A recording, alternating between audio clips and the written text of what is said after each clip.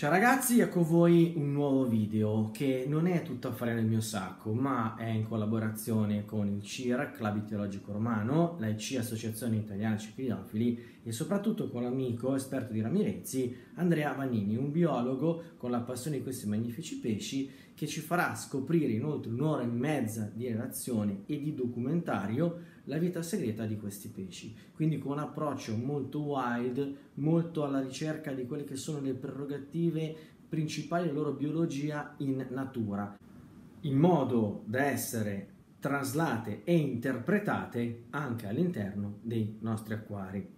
Quindi ringrazio ancora Andrea Mannini, ringrazio il CIR che mi ha dato questa possibilità, oltre che chiaramente all'Associazione Italiana Ciclidofili che ha fatto in collaborazione col CIR tutta una serie di serate inerenti, inerenti al mondo dell'acquariologia in generale.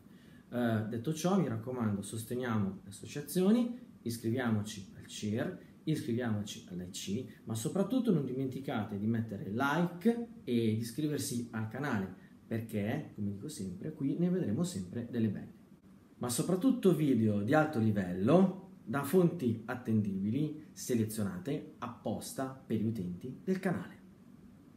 Ed ora andiamo ad ascoltare cosa ci racconta Andrea sulla vita misteriosa dei Ramirezzi.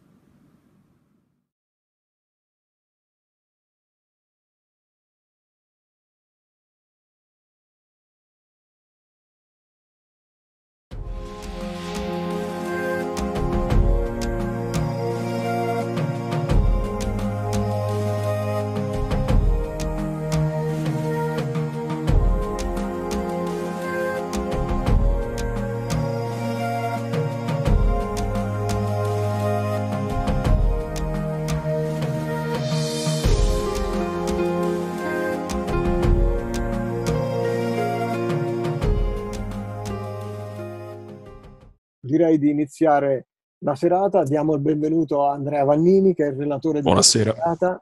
Ciao Andrea. Eh, Andrea Vannini è acquariofilo e biologo, quindi eh, chi meglio di lui potrebbe aiutarci nella, nella, nella relazione di questa serata.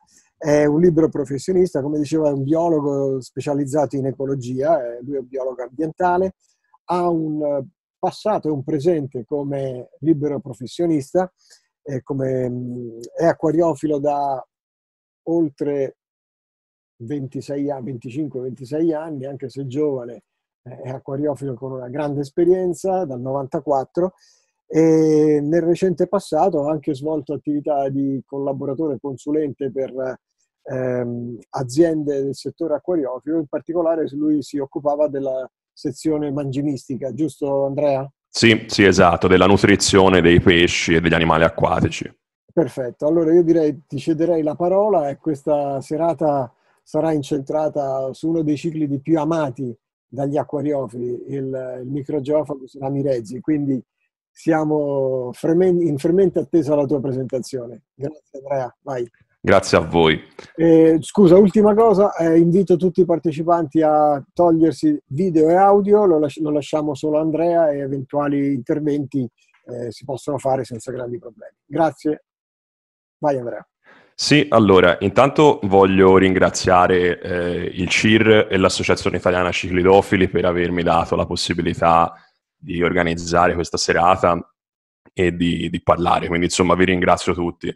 Eh, per il RAM, per il Microgeophagus ramirezzi, io ho una grande passione da, da, alcuni anni, li ho anche allevati e, diciamo, sfruttando anche un po' le mie conoscenze di biologo, le mie esperienze anche professionali, ho fatto un percorso diciamo, di approfondimento sugli studi che sono stati fatti a livello scientifico su questo pesce, scoprendo che una volta confrontato quello che si sa a livello scientifico con quello che poi si fa nella pratica acquariofila, molte cose non tornano.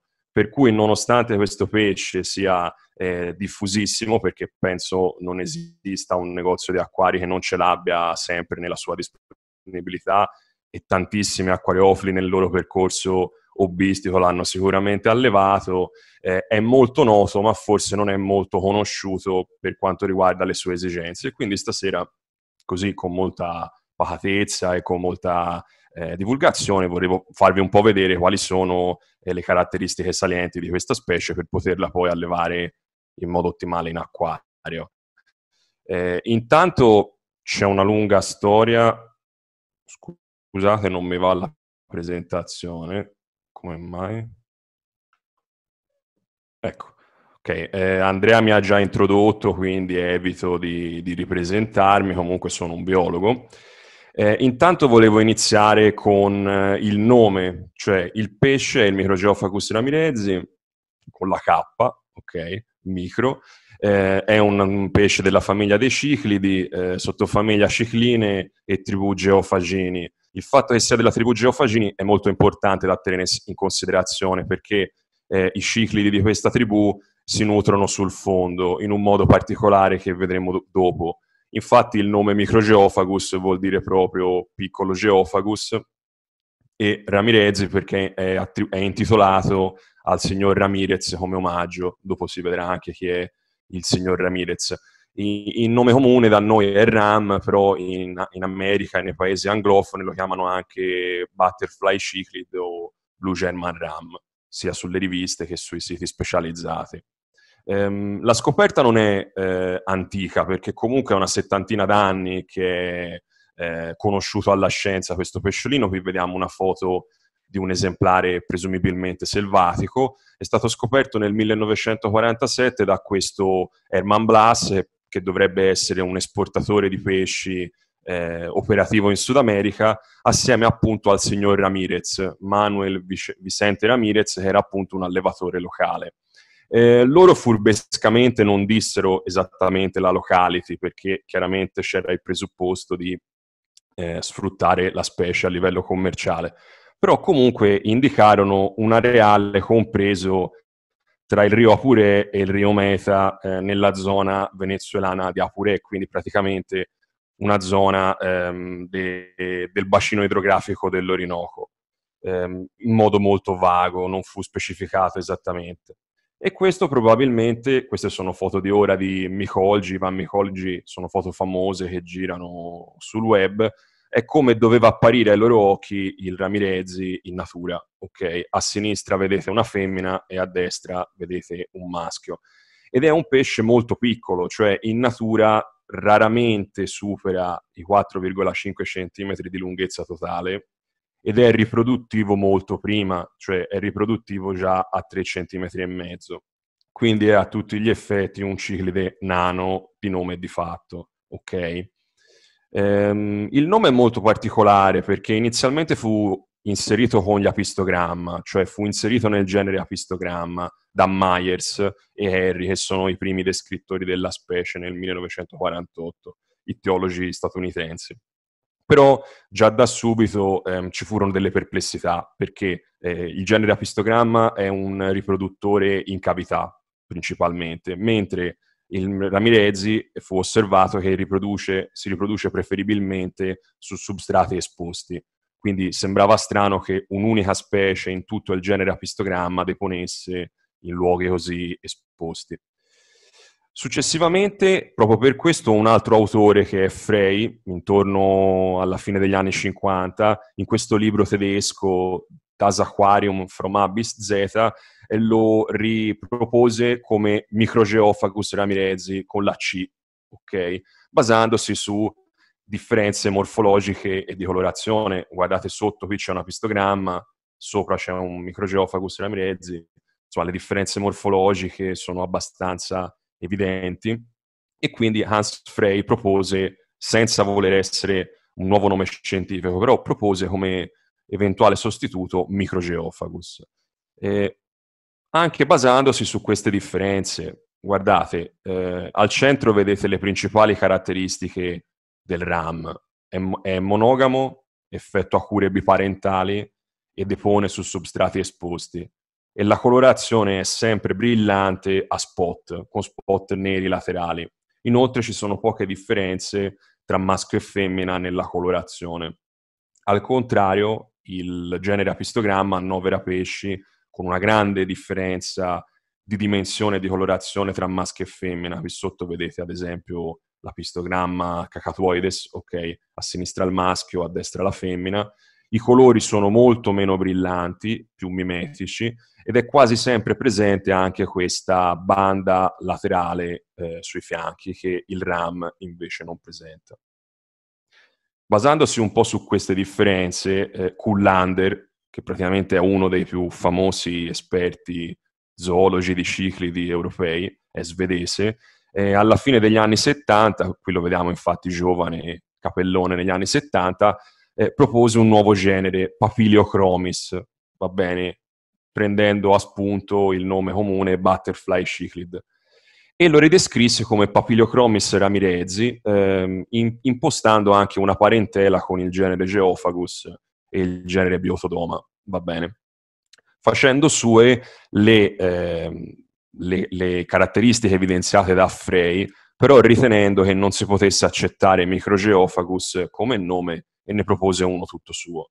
E per tanti anni è stato così. Io ho delle riviste degli anni 90, appunto, di quando ho cominciato eh, con l'acquariofilia dove il RAM viene proprio chiamato eh, Papiliochromis ramirezi. In realtà poi dopo, qui, qui lo vediamo invecchiato con l'Under, va bene, negli anni successivi ci fu un po' di diatriba perché non tutti accettarono questo nome Papiliochromis istituito un po' arbitrariamente da Kullander e dissero no, forse è meglio eh, continuare a utilizzare Microgeophagus. E tra questi eh, fautori di Microgeophagus c'erano due importanti teologi europei, Gery e Isbrucher, che però a livello accademico e anche credo personale erano un po' nemici di Kullander, quindi ci fu tutta una diatriba scientifica che ora vi risparmio eh, i suoi dettagli, però alla fine eh, Kullander per fare contenti un po' tutti tirò fuori questo libro degli anni 70, fine anni 60, Jeg Har Aquarium, un libro danese, eh, dove c'era scritto Microgeophagus con la K, ok? E nel 2011 disse, va bene, lo chiamiamo Microgeophagus ramirezi con la K. È un po' un, una questione di lana caprina, perché lì c'era scritto Microgeophagus con la K, perché gli autori, essendo danesi, avevano sbagliato a tradurre dal latino, quindi non è che in realtà loro avrebbero scritto Microgeophagus con la C, però Kullander, pur di non far contento Gery e Isbrucher, tirò fuori questa storia della K. Quindi oggi si chiama Microgeophagus, Meulengracht e Madsen sono gli autori di questo libro danese, eh, Ramirezzi. Fatta eh, questa premessa, allora dov'è che si trova i Ramirez in natura? In, principalmente tra Venezuela e Colombia. In questa regione, evidenziata qui di viola, che sono gli Llanos, ok? È una specie endemica degli Llanos dell'Orinoco. E qui a destra vedete una cartina più dettagliata, ok? Eh, gli Llanos sono questa regione grigio chiara nel mezzo, ok? eh, dove ci sono grossi fiumi come il Rio Apure, il Rio Meta ed altri, anche il Rio Enidida.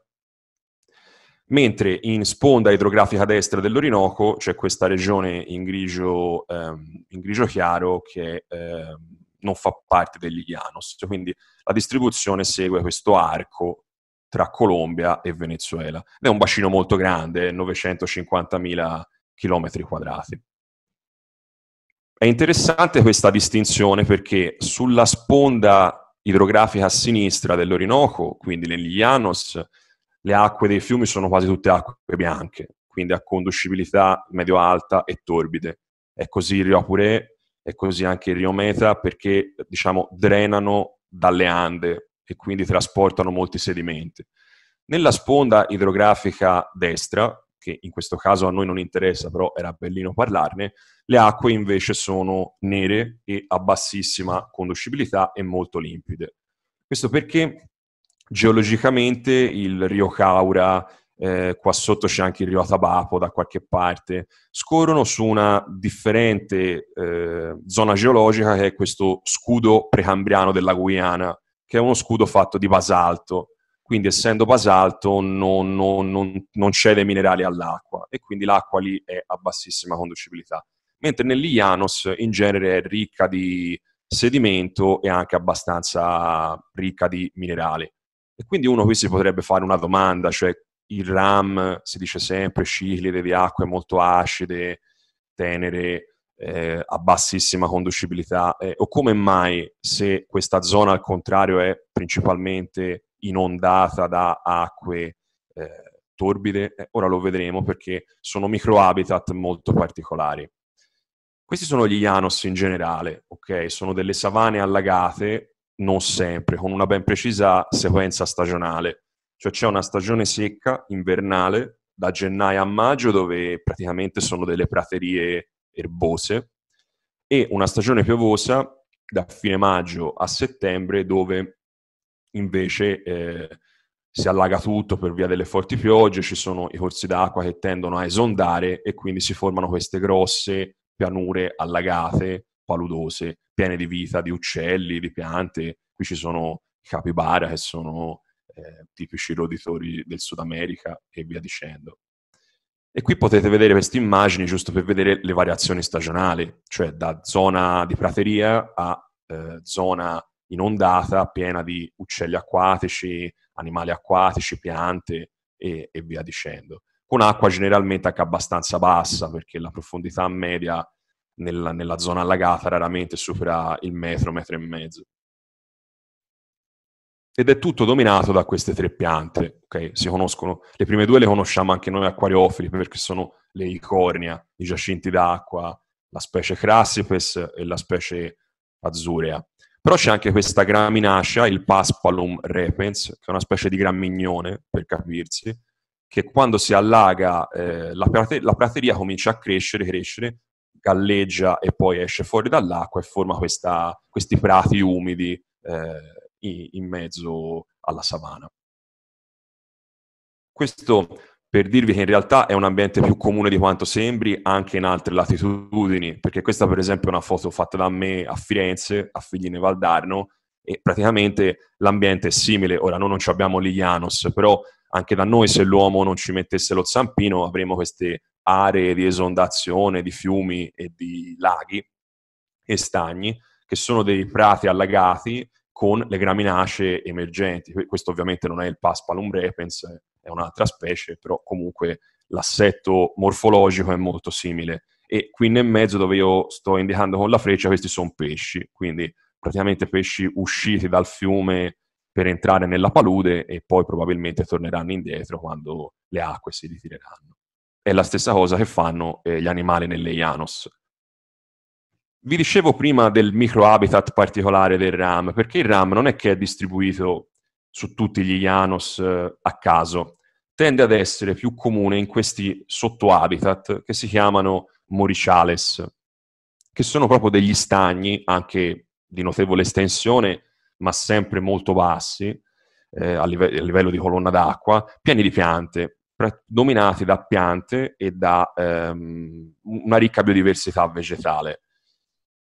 In particolare sono dominati da delle palme, palma, la palma moricia e la palma moricito, che crescono proprio con le radici nell'acqua e fanno cadere le loro foglie eh, morte nell'acqua stessa, provocando una tannizzazione, cioè l'acqua tende a essere scura, ambrata, ok?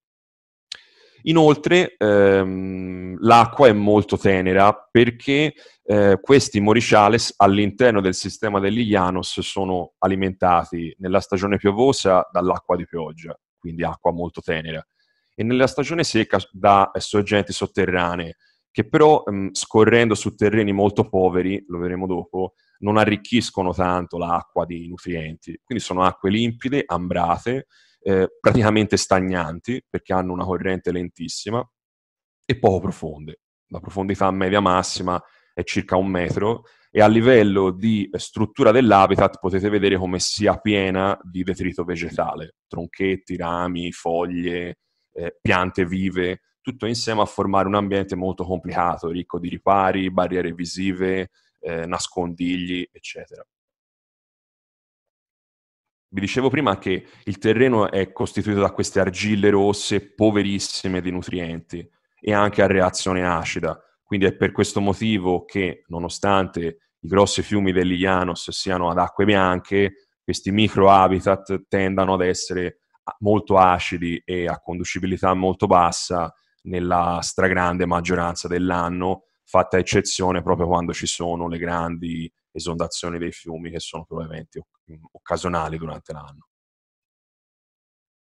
Io qui ho preso per vedere un po' le temperature del biotopo eh, San Fernando de Apure, che è città, una cittadina praticamente nel mezzo degli Llanos, ok? E quindi vedete proprio la, la differenza stagionale che è abbastanza marcata a livello di temperatura, perché abbiamo una stagione secca, calda da febbraio a aprile, dove la temperatura media è 30 gradi, quella dell'aria, e una stagione leggermente più fresca tra giugno, luglio e agosto, dove le temperature medie sono intorno a 26-27 gradi, ma possono scendere anche a 22-23 gradi. Quindi c'è proprio una stagionalità, sembra quasi un clima monsonico, cioè un periodo molto caldo e secco e un periodo un po' più fresco e più piovoso.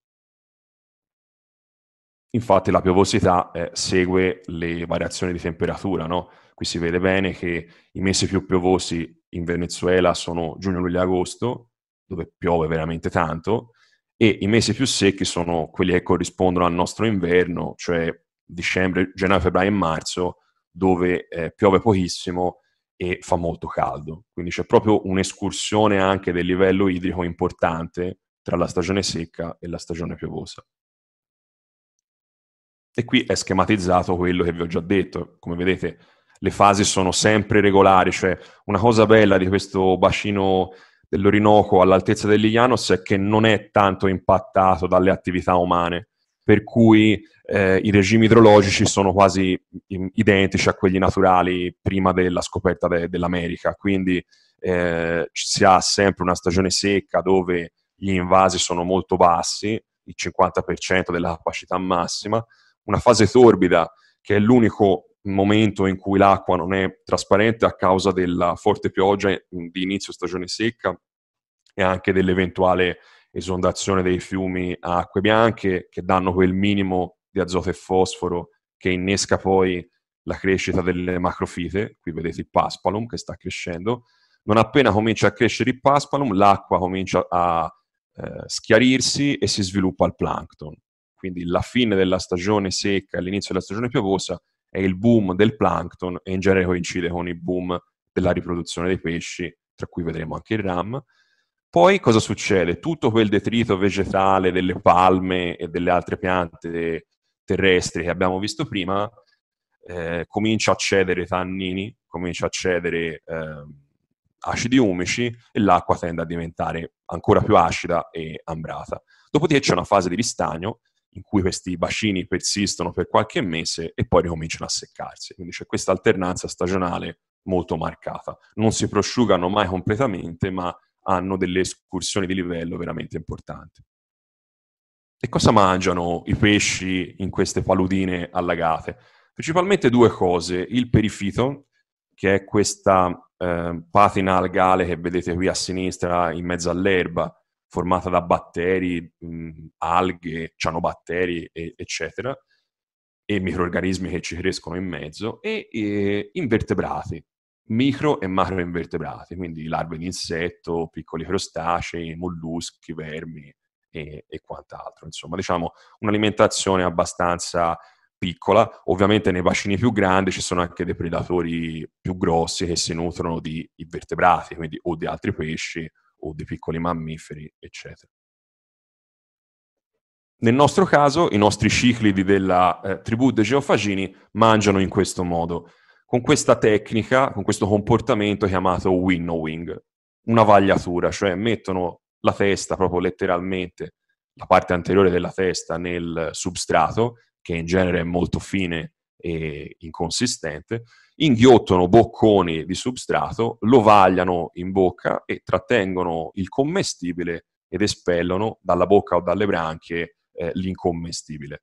Questo aiutati dal fatto che i ciclidi hanno un doppio set di, di mascelle, quelle orali, che sono in rosa nella figurina, ma anche delle mascelle faringee, che sono quelle rosse, che utilizzano proprio per ehm, setacciare meglio questo, questa boccata di substrato e trattenere le prede o il detrito commestibile.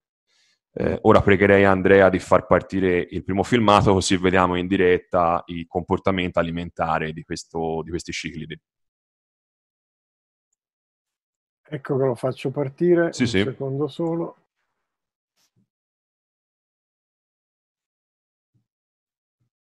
Si vede? Sì, sì, io lo vedo.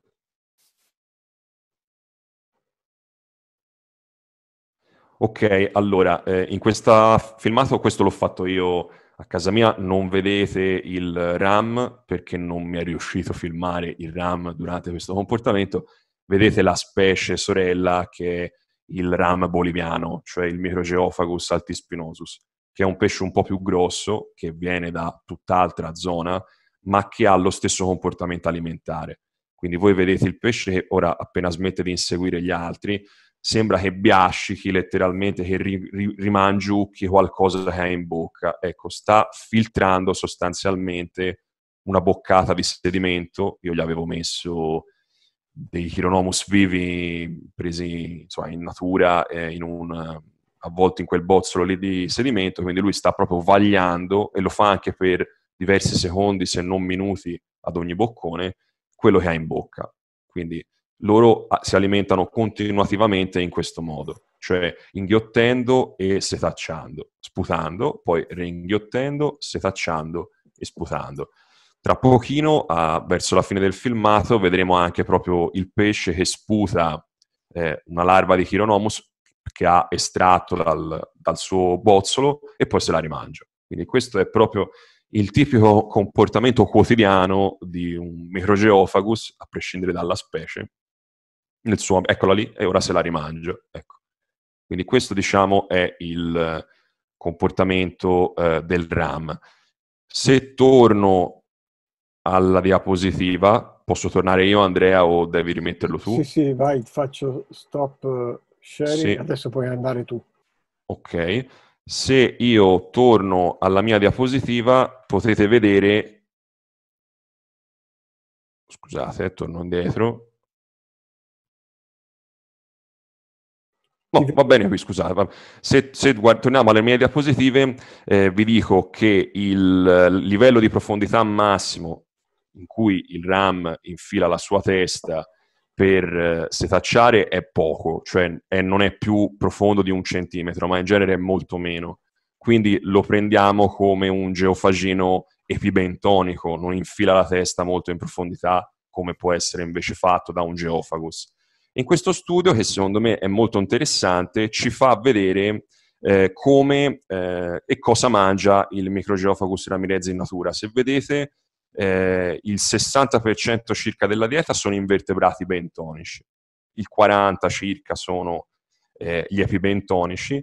Io ho arrotondato, però quello che resta è detrito vegetale. Quindi è un micropredatore bentonico epibentonico, quindi mangia sul fondo, però ha un minimo, una piccola percentuale di eh, vegetali nella sua dieta. Al contrario, per esempio, del Dicrossus filamentosus, che è una specie sintopica nei Moriciales, dove la dieta è esclusivamente carnivora. E gli apistogramma addirittura sono ancora, perlomeno apistogramma oignei, è ancora più vegetariano. Non mi scorrono le diapositive, non so perché.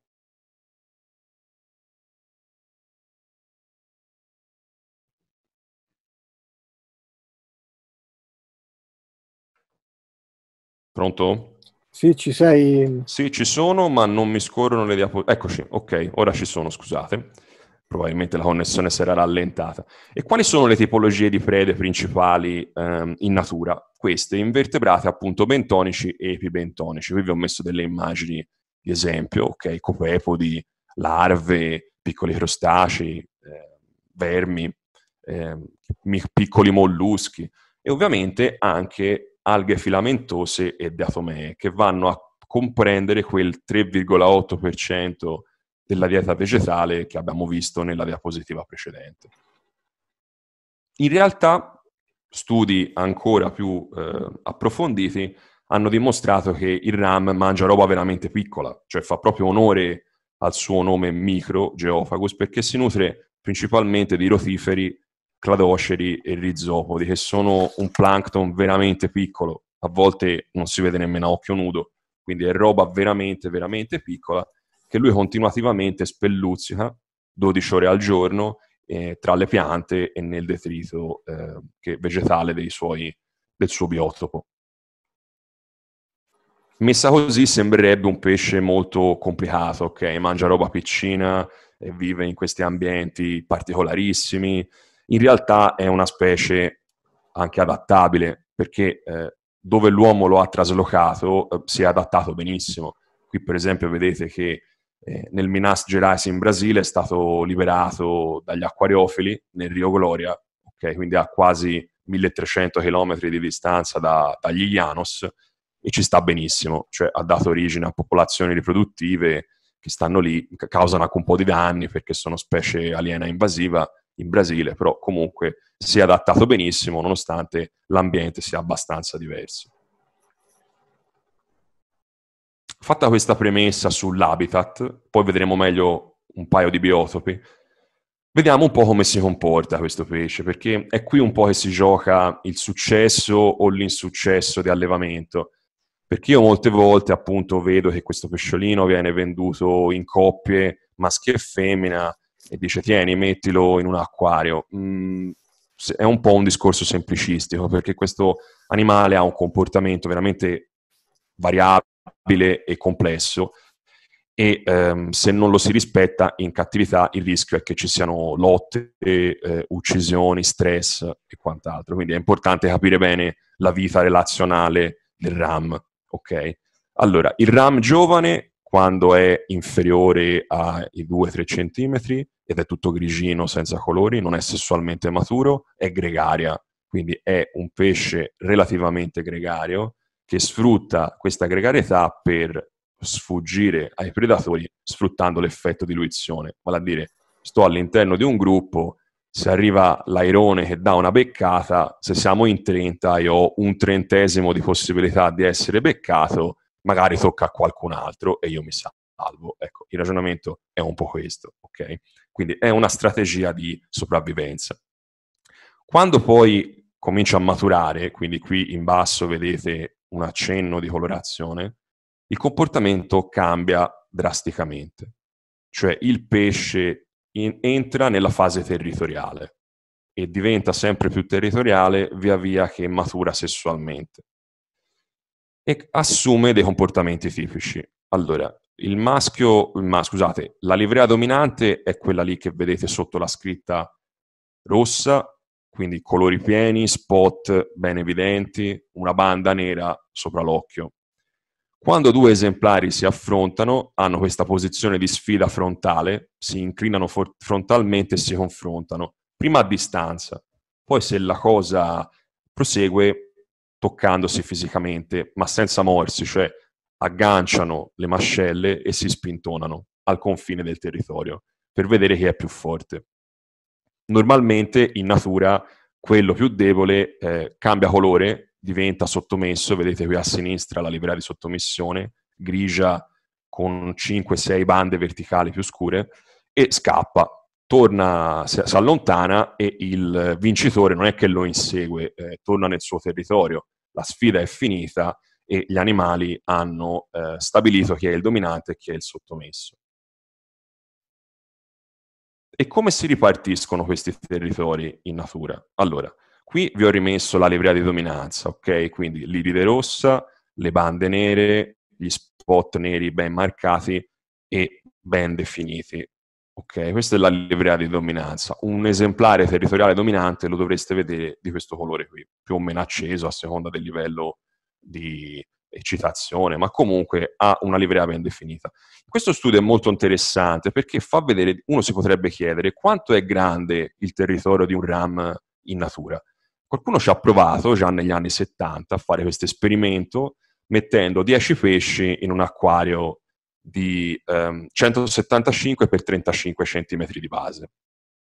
Dopo qualche tempo eh, si è visto che soltanto 4 pesci erano stati in grado di delimitare un territorio, gli altri praticamente erano stati estromessi, cioè si trovavano appena sotto il pelo dell'acqua E qui li vedete in quattro colori diversi, ok?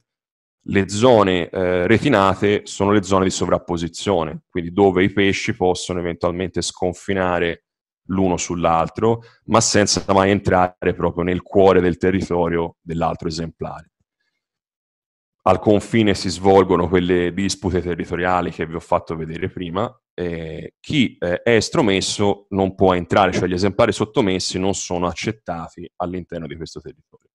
Quindi estrapolando un po' questo discorso, possiamo dire che un pesce all'incirca, dividendo la superficie di base per 4, occupa un quadrato ipotetico, diciamo un'approssimazione, di circa 40 x 40 cm, dove ci sta da solo, cioè qui no, non si parla di coppie, vita di coppia, cioè il ram non riproduttivo è un animale praticamente solitario, sta nel suo territorio lì a difenderlo singolarmente, scacciando i rivali e lo difende sal- salendo verso la superficie solo per massimo 20 cm dal fondo. Quindi questa è un'altra testimonianza di quanto questo pesce è principalmente bentonico. E qui, secondo me, questo articolo è illuminante perché uno potrebbe, cioè pensa subito a quante persone effettivamente tengono due RAM in un acquario di, prendendo ad esempio questi dati, 80 cm per 40 cm. Molto spesso io, vedendo i social, come sentendo le persone parlare, li tengono in molti meno litri. Okay? Comprano due RAM a caso, magari maschio e femmina, e li mettono in un acquario di 50 litri, 40 litri, 55 litri. Ha, hanno questi pesci la possibilità di delimitare due territori come lo schemino che vediamo qui e al massimo sfidarsi lungo il bordo, oppure uno dei due diventa automaticamente iperdominante e nel limitato spazio stretto di un piccolo acquario insegue e ammazzola continuamente il sottomesso che poverino non sa più dove andare? Questa è una domanda molto importante perché sostanzialmente il RAM, secondo me, non è un pesce da acquari troppo piccoli. Ok? Immaginatevi anche qui nel territorio, poi cambio diapositiva, la, le, la ricchezza ambientale, quindi ci saranno ostacoli visivi, nascondigli, barriere, non è che i pesci si vedono costantemente 12 ore al giorno, ci sono complessità ambientali molto importanti. Fatta questa premessa, vediamo un attimo come si fa a riconoscere il maschio dalla femmina.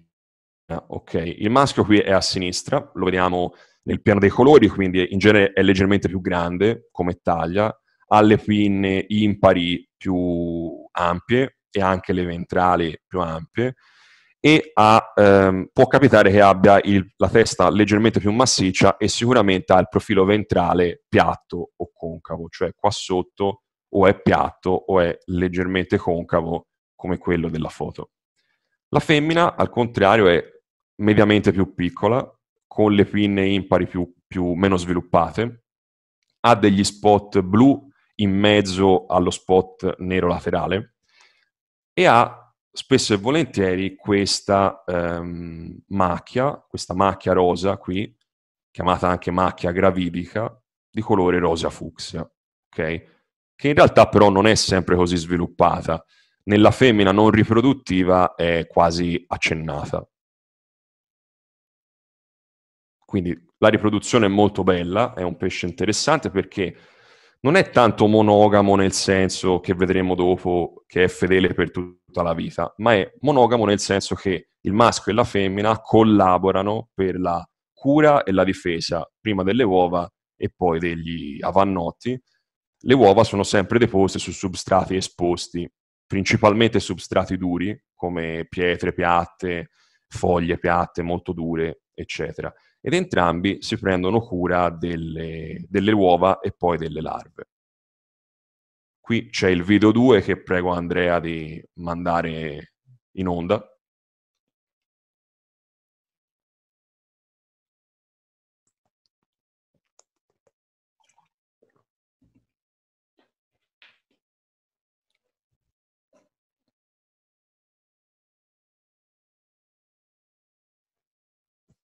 Ok, questo è un video fatto da un bravissimo fotografo italiano che è Emanuele Biggi, che è liberamente disponibile su YouTube, da dove l'ho preso io, e praticamente si vedono eh, le fasi di deposizione, ok? Questa è la femmina che sta deponendo le uova su un pezzo di legno, sembra, e questo è il maschio che subito dopo le va a fecondare, ok? E questo procedimento si ripete più volte fino a che la femmina non si è scaricata di tutte le uova, che possono essere anche, insomma, parecchie.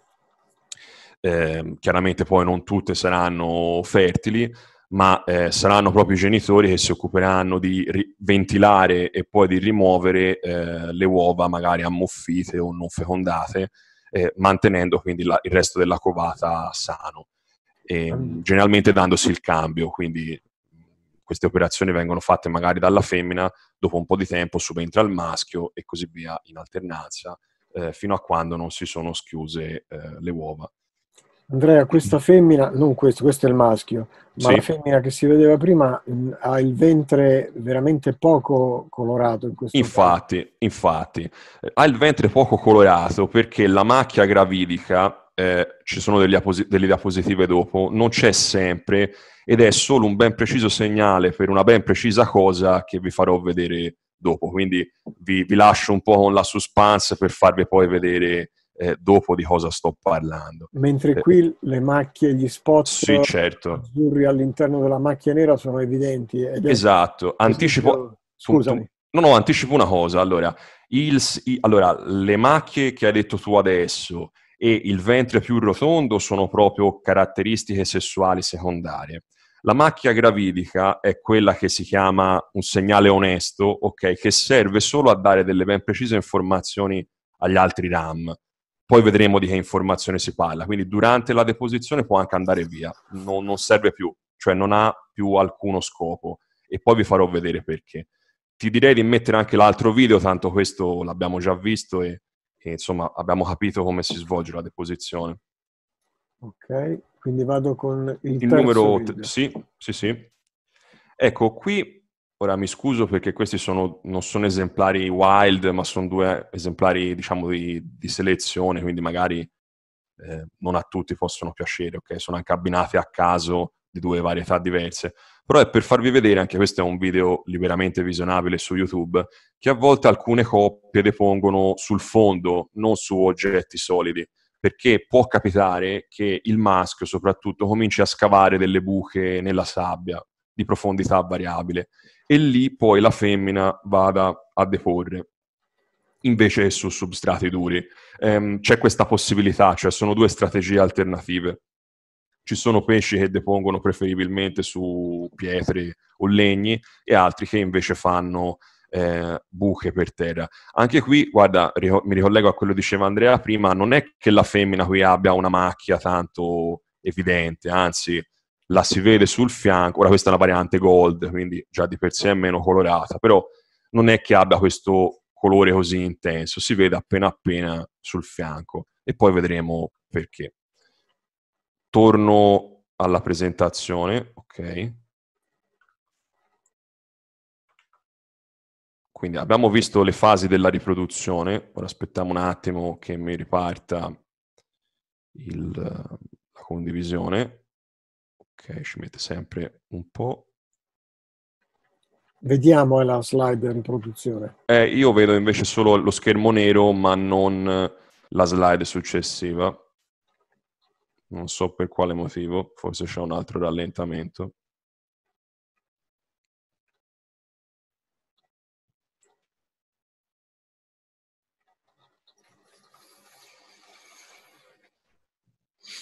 Ok, Ok, è ripartito, scusate, eh, ogni tanto la connessione rallenta.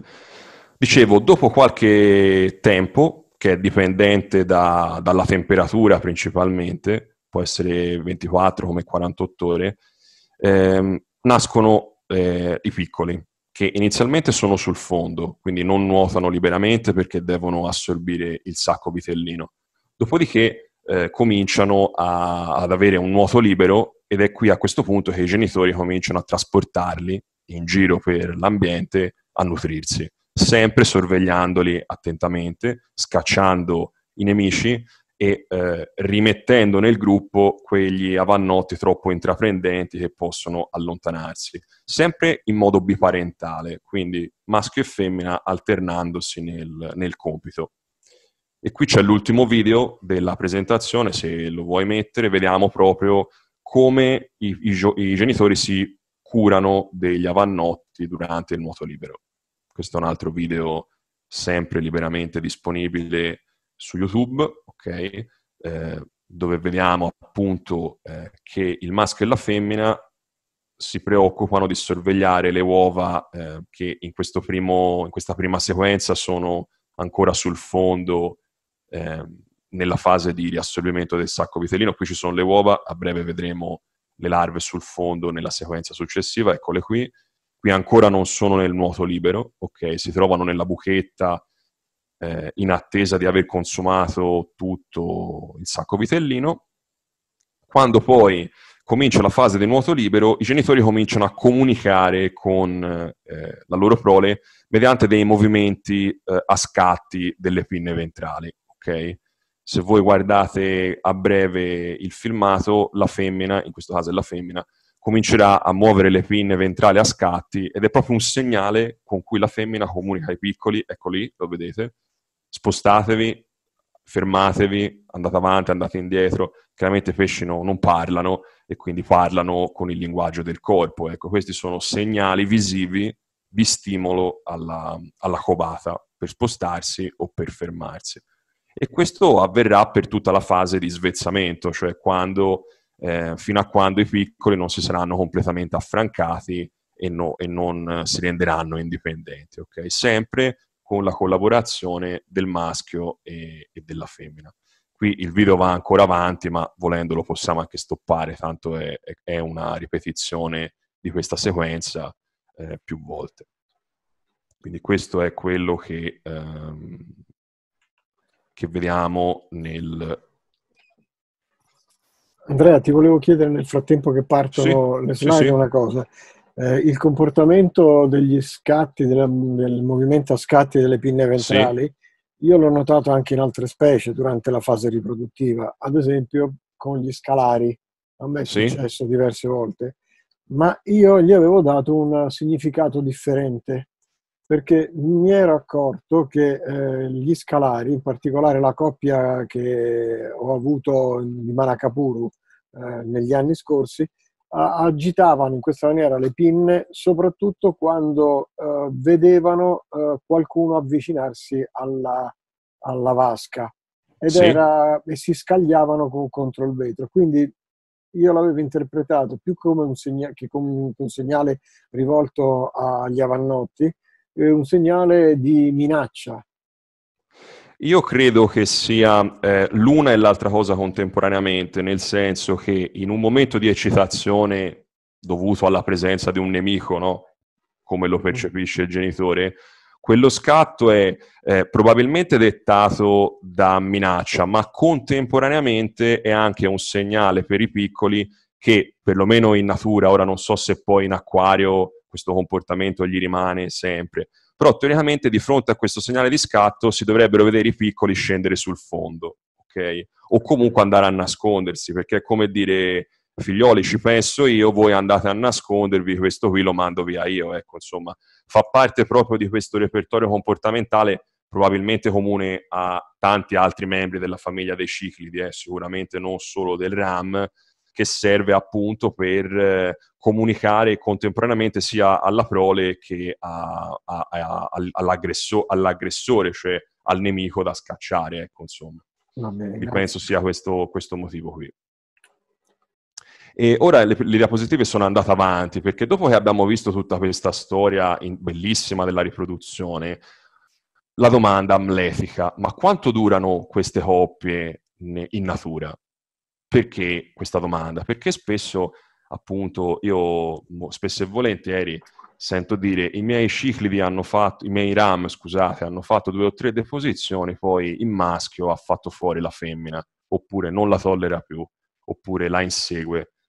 Allora, la durevolezza della coppia, premetto che non è mai stata studiata in natura, però monogamia non bisogna in questo tipo di pesci piccoli, poco longevi, secondo me considerarla come la monogamia della fedeltà assoluta che c'è ad esempio in animali che campano 50 anni come gli albatros. Gli albatros sono monogami per tutta la vita, ma perché campando 50 anni per loro è più conveniente stare insieme tutta la vita piuttosto che tutti gli anni cercarsi un nuovo partner. Pesci dal ciclo vitale così breve come possono essere i cicli di microgiofogus amnesi che vivono pochi anni, io credo che sicuramente per una stagione riproduttiva la coppia rimane unita, tentando una o più riproduzioni, ma non è escluso che se sopravvivono fino alla stagione riproduttiva successiva, non è da escludere che eh, ognuno dei due cambi partner, ok? Perché in, in natura, a differenza di quello che spesso noi, secondo me sbagliando, facciamo in acquario, non vivono in una fase riproduttiva perenne, cioè stanno insieme quei due o tre mesi di stagione riproduttiva, poi finita la riproduzione ognuno torna nel suo territorio e ci si rivede l'anno dopo, ok? Non gliene frega nulla di continuare a stare insieme. E in natura dico questo. Quindi io non credo che le coppie siano così tanto durevoli e tanti problemi che ci sono eh, in cattività su queste coppie che scoppiano secondo me è proprio dovuto a questo, ma lo vedremo meglio dopo nelle prossime slide, ok? Appunto, non vivono tanto, mh, mm, sembra che vivano 3 o 4 anni in cattività, in natura secondo me se arrivano a un anno, un anno e mezzo è già grassa, ecco, perché comunque con tutti i predatori e le condizioni proibitive che possono trovare, eh, il rischio c'è. Oh, ecco, volevo parlare un attimo della macchia gravidica, perché appunto l'avevo accennata prima. Allora, la macchia gravidica della femmina è... Un... scusa, non vediamo le slide. Eh? Ah, allora aspetta, provvedo subito. Scusa, forse non ho attivato lo sharing. Aspetta un attimo.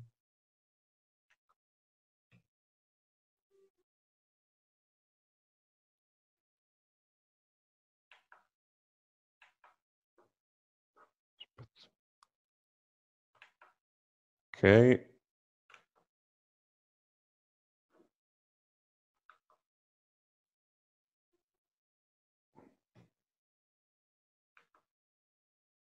Mi puoi dire se adesso si vedono?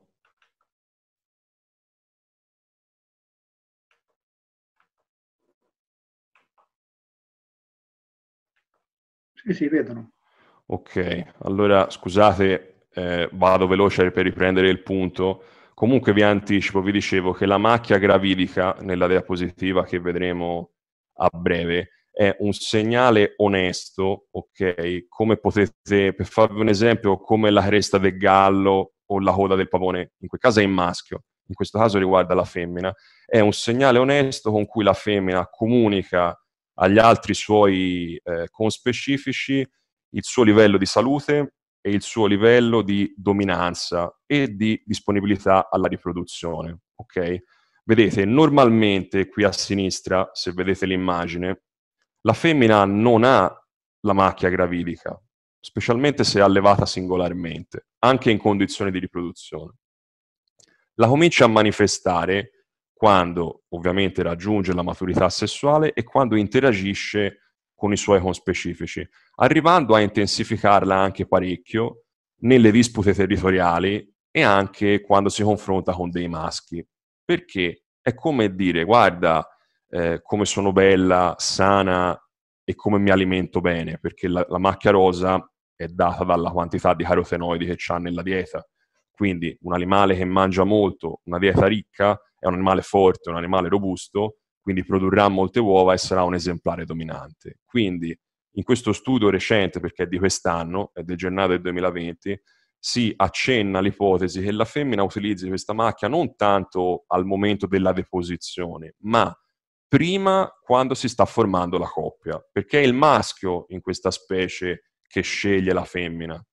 Non è come nel caso del gallo, che è la, è la femmina che sceglie il maschio. In questo caso sembrerebbe invertito. Quindi è il maschio che sceglie la femmina con la macchia più bella perché gli sta dicendo guarda come sono brava potenzialmente per riprodurmi. Quindi quando noi abbiniamo due pesci a caso, un maschio e una femmina a caso, non è detto che al maschio gli vada bene, perché se dal suo punto di vista questa non ha tutti i colori al posto giusto, invece che considerarla un buon partner, magari la considera solo un invasore del suo territorio, o comunque una femmina da mandare via nella speranza, in acquario purtroppo vana, che ne arrivi un'altra più bella più, più buona, si direbbe noi, cioè più interessante per riprodursi. Quindi anche quando noi abbiniamo le coppie, facciamo attenzione a questi segnali che a noi magari non, non, ci, non ci, danno nessuna informazione, ma per i pesci sono importantissimi. Ok? E gli va via, spesso gli va via al momento della deposizione, perché a quel punto i giochi sono fatti, cioè non c'è bisogno di essere tanto appariscenti. La coppia è formata e stanno facendo un tentativo di riproduzione. Ormai si è sposata, si può mettere i bigodini. Esatto, cioè, capito, ha tirato Remy in barca, cioè non gliene importa più nulla in quel momento di, di, fare tanto gli arzillini, perché tanto la coppia è già stata fatta, quindi non gliene frega più niente. Quindi, avviandoci verso la fine, vi volevo far vedere i biotopi, ok? Per tirare le somme e capire anche meglio come tenere questi pesci al meglio in acquario. Questo è un vecchio reportage di Steck, del dottor Steck, un esperto di ciclidi che negli anni 90 scriveva anche su una rivista acquariofila che oggi non esiste più, che è Aquarium Oggi, e che appunto pubblicò questo reportage su eh, 4, 5, no, sono 6 biotopi di eh, raminezzi in natura. Okay? Sono quasi tutti stati raccolti i dati in stagione secca, aprile, tranne questo che è di agosto in stagione piovosa. Come vedete i valori dell'acqua nella stagione secca sono caldissimi, 30, 30, 31, 33 gradi, quindi acqua veramente molto calda. Il valore pH è eh, acido, perché so, il valore medio è 5 con punte basse di 4 e 6. La conducibilità è molto molto ridotta. I valori cambiano un po' durante la stagione piovosa, perché l'acqua è un po' più, relativamente più fresca, ok, 27 gradi e mezzo. La conducibilità si alza un pochino per via di quelle precipitazioni che portano nell'acqua del sedimento e il pH può raggiungere, non sempre, però può raggiungere dei livelli di neutralità. Quindi possiamo dire tra 5 e 7, ok, in natura. E acqua mediamente molto calda, tra i 26 e i 33 gradi, ok? un pesce termofilo, cioè un pesce di ambienti mediamente molto caldi, ok? E acqua acida effettivamente, tranne che durante la stagione piovosa. Sempre Steck, qui vediamo proprio tre, tre, pesci raccolti da lui durante quel viaggio e i rispettivi ambienti di Moriciales. Eh, sono tre maschi questi, ok? Lui eh, nota che le deposizioni si svolgono tra marzo e aprile, quindi alla fine della stagione secca ovvero non appena questi pesci sentono la pioggia, quindi la temperatura che si abbassa e l'acqua che comincia a, ehm, diventa- a rinnovarsi, iniziano a formarsi le coppie e a deporre. Quindi è un periodo abbastanza breve di circa 2-3 mesi durante il quale si riproducono, dopodiché, eh, come dicevo prima, chi si è visto si è visto probabilmente e se ne riparla l'anno dopo per, per chi ci sarà, ecco perché probabilmente non vivono molto in natura. E questi sono tre esempi, vedete, la colorazione è un po' variabile perché a seconda della popolazione la genetica è un po' diversa e quindi il fenotipo maschile può essere un pochino diverso. Quello nel mezzo non ha nemmeno lo spot nero, ma uno spot addirittura azzurrognolo qua nel, sul fianco. Qui, se qualcuno volesse divertirsi a riprodurre un biotopo, ci sono alcune delle piante eh, presenti eh, e elencate da Stack, tipo Cabomba furcata, le corne azzurre, la maiaca, la pistia, l'imnobium, sono, queste due sono piante galleggianti. La Ludwigia il mintorrizza, che è una pianta che a me piace molto perché galleggia con queste radici spugnose, mm, l'ho vista pochissime volte in commercio, forse mai, però è veramente affascinante come, come biologia e poi i ben noti, no? Echinodorus, eh, Eleantium eh, e Naias, ok? Quindi insomma ci si può sbizzarrire, la vegetazione lì è veramente tanta, questi sono solo esempi, in realtà le specie sono decine e decine di piante acquatiche e palustri, sempre molto abbondanti. Quindi riparo visivo, nascondiglio, i pesci possono facilmente delimitare un territorio e via dicendo. Queste sono alcune specie proprio che vivono nello stesso ambiente dove vive il nostro RAM, due specie di apistogramma, Longsloi e Loignei, eh, la Pristella maxillaris, alcune specie di pirulina, questo pesce bellissimo che è Pescilocarax waitsmani, ehm, secondo me è fantastico, cioè un pesce bellissimo, purtroppo poco allevato, ma veramente, veramente bello. Io l'ho, ho avuto la fortuna di tenerlo una volta, è veramente stupendo. E il, questo piccolo predatore che è il Polycentrus schomburghi, che è un piccolo policentrio, tipo un mini pesce foglia di circa 5-6 cm che vive in mezzo alla vegetazione. In acquario, ok, e poi si conclude questo viaggio nel RAM. Allora, il mercato ci offre veramente una quantità di varietà incredibili, ok? In alto ho messo il German Blue Ram, cioè la forma ancestrale, però oggi troviamo pinne a velo, forme gold, forme black, forme tutte blu, electric blue, oppure electric blue gold face, eh, balloon che sembrano pesci rossi balloon, quelli veramente poveretti, insomma, anche abbastanza infisciati nel nuoto, quindi abbastanza menomati purtroppo.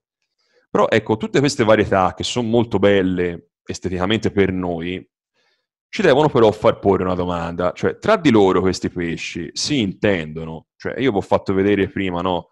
Eh, la banda verticale nera, l'occhio rosso, gli spot laterali, ehm, il cambio di colore, livrea di dominanza, livrea di sottomissione, la macchia gravidica nella femmina.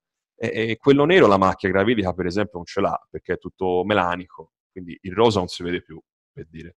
E anche spesso quegli electric blue non hanno a livello femminile la pancia rosa.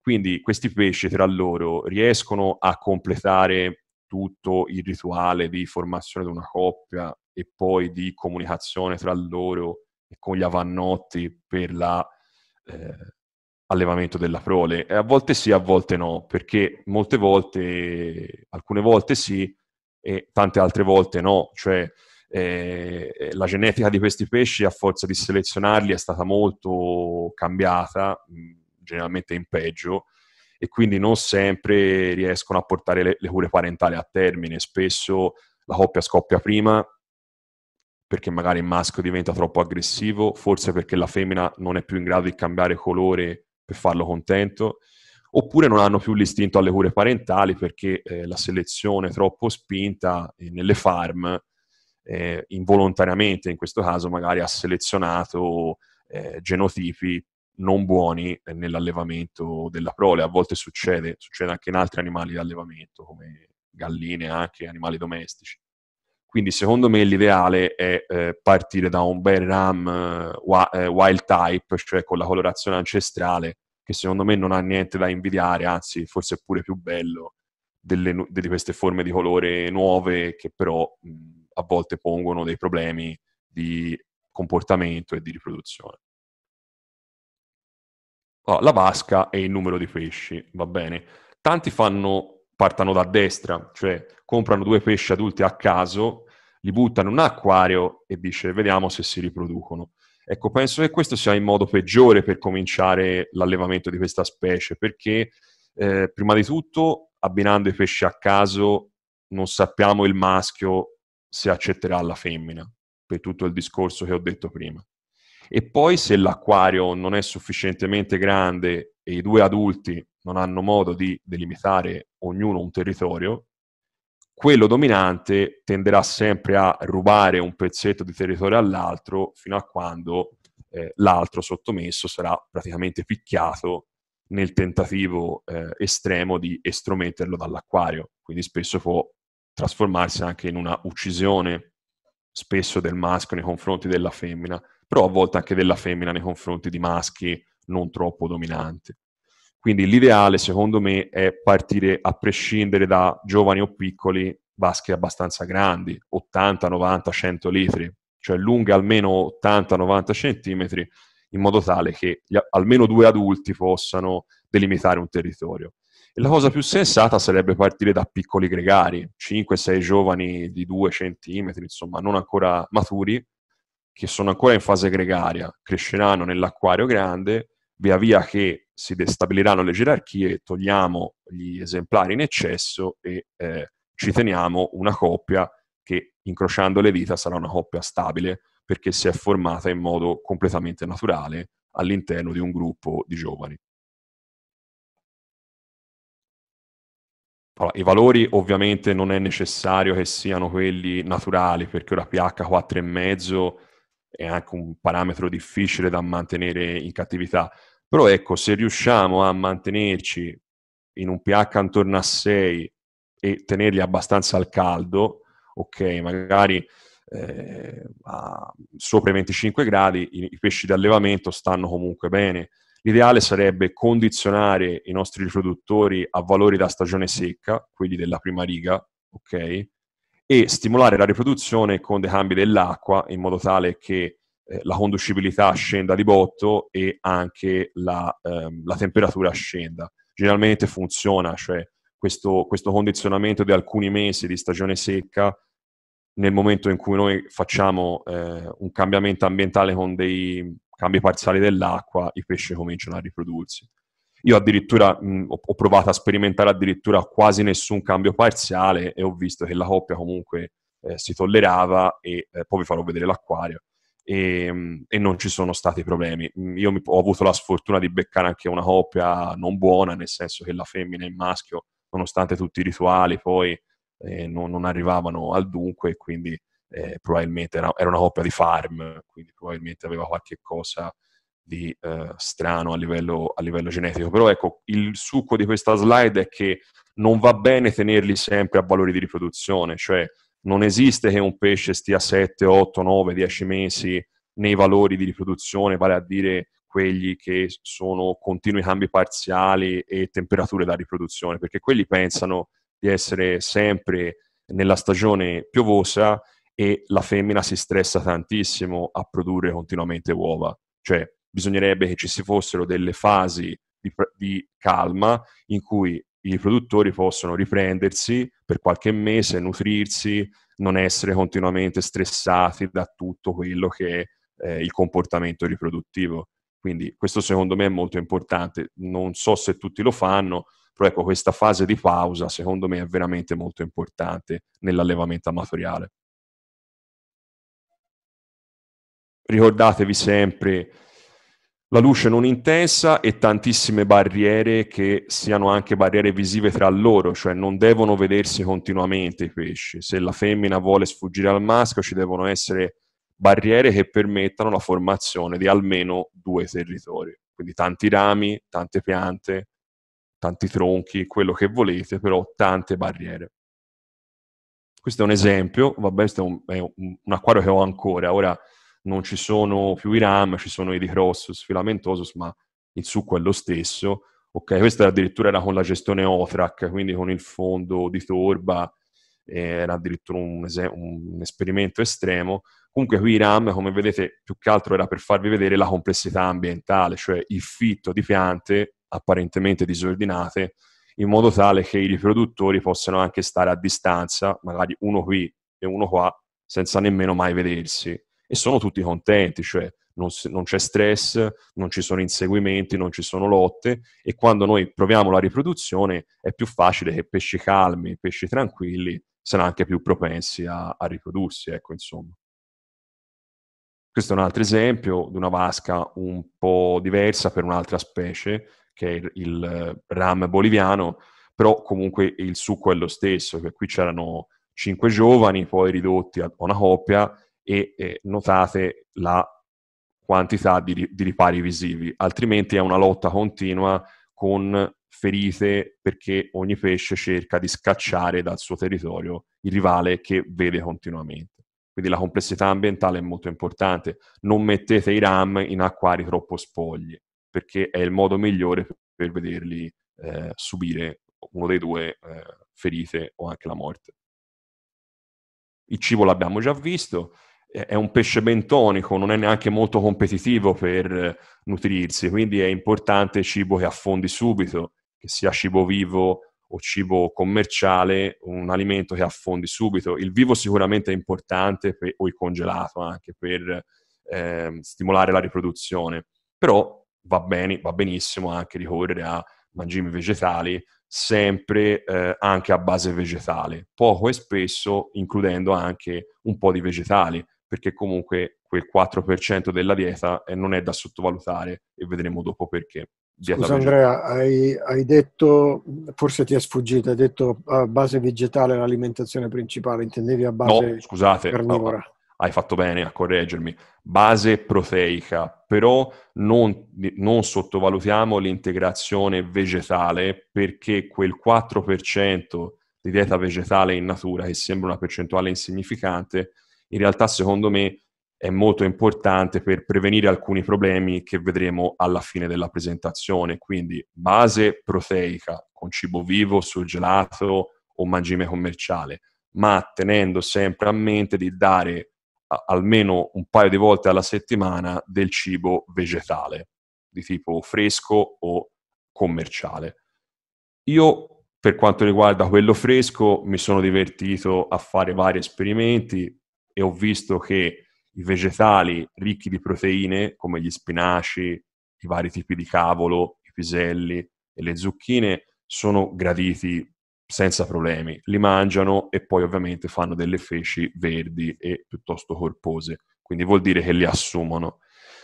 Vi dirò che io ho provato anche a dargli il nocciolo sporco della pesca e spelluzzicano anche quello, forse perché si formano microorganismi sopra, o forse perché catturano quelle piccole fibre eh, del, del, della frutta attaccata. Però ecco, delle piccole integrazioni vegetali, secondo me, sono molto importanti.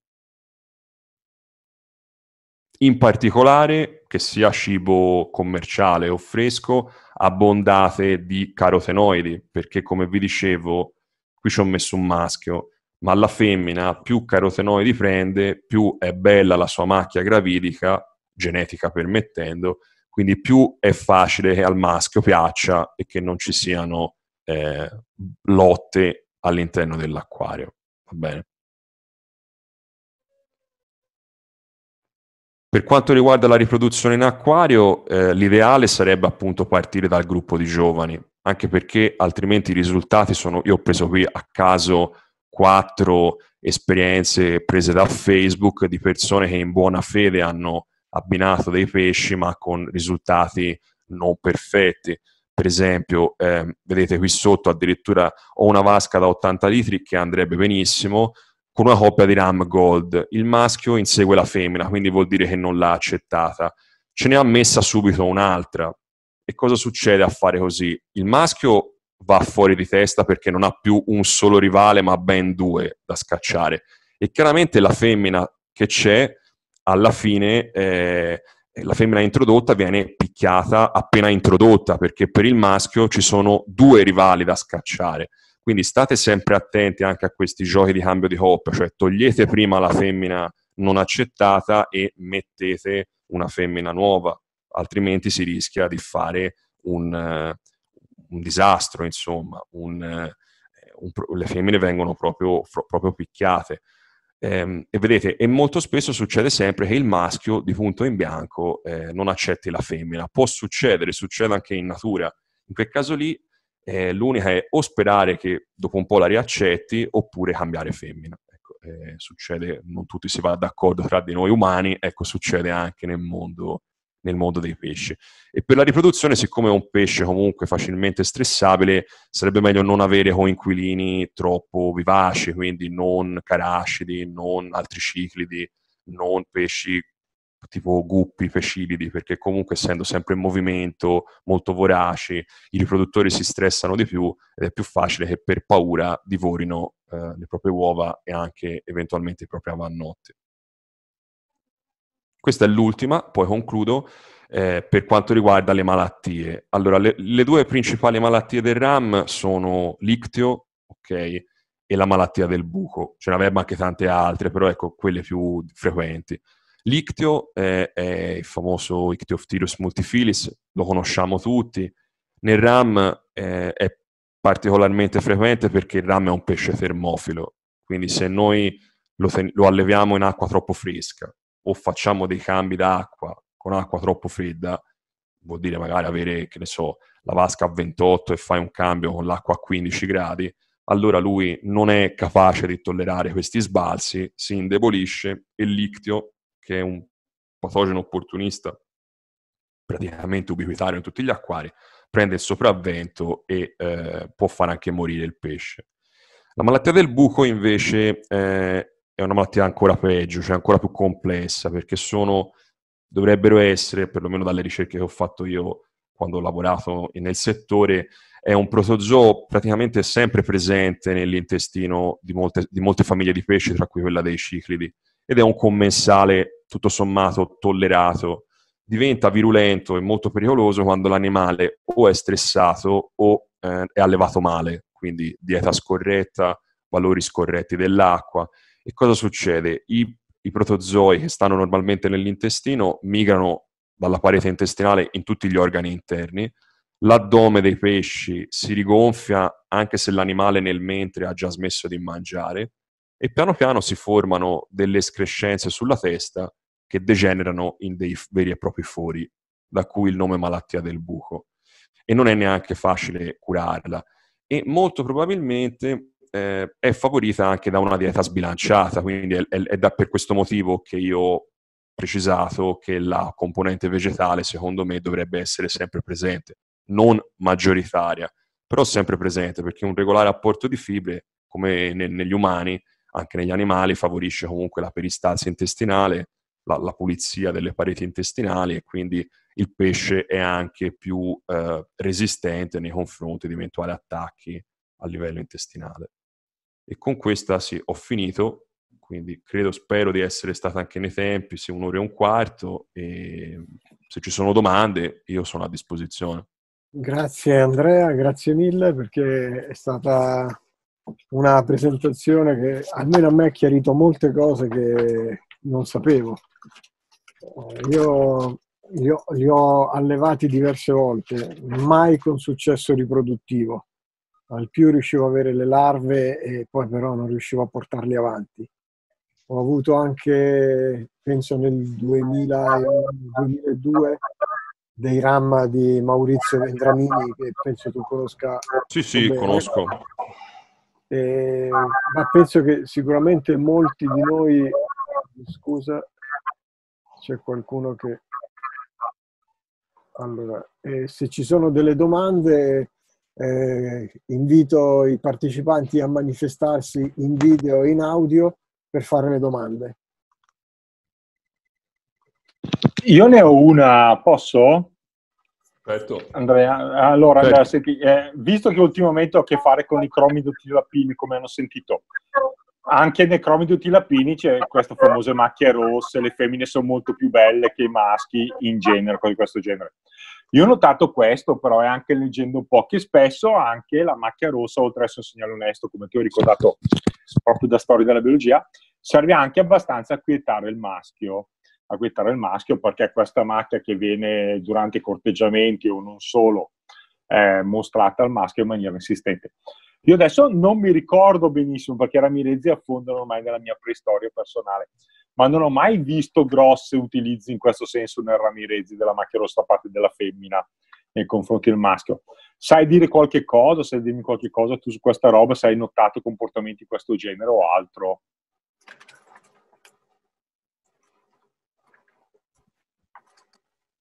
Sì. Ah, ok, scusa, c'era stato un blocco e non avevo... Sì, sì. Non, non... Mi sentite? Sì, sì, sì, sì.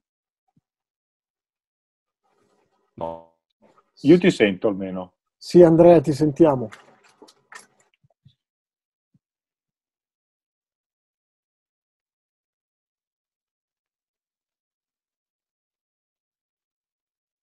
C'è un blocco totale, anche l'immagine. Sì, penso che Andrea si sia momentaneamente bloccato, vediamo se è ancora in collegamento, sì è in collegamento.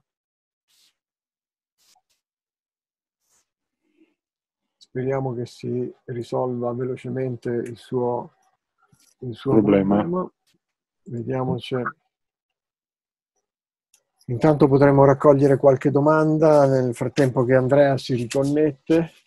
Guardiamo magari anche su Facebook, magari qualcuno ha chiesto qualcosa. Sì, non so se Francesco Simoncelli ci puoi pensare, puoi pensare tu a vedere su, su Facebook. Sì, abbiamo una domanda di Davide Solani. Ci sono esperienze di selezione genetica combinando i blu con i gold. Non dove... ho capito, scusa Francesco.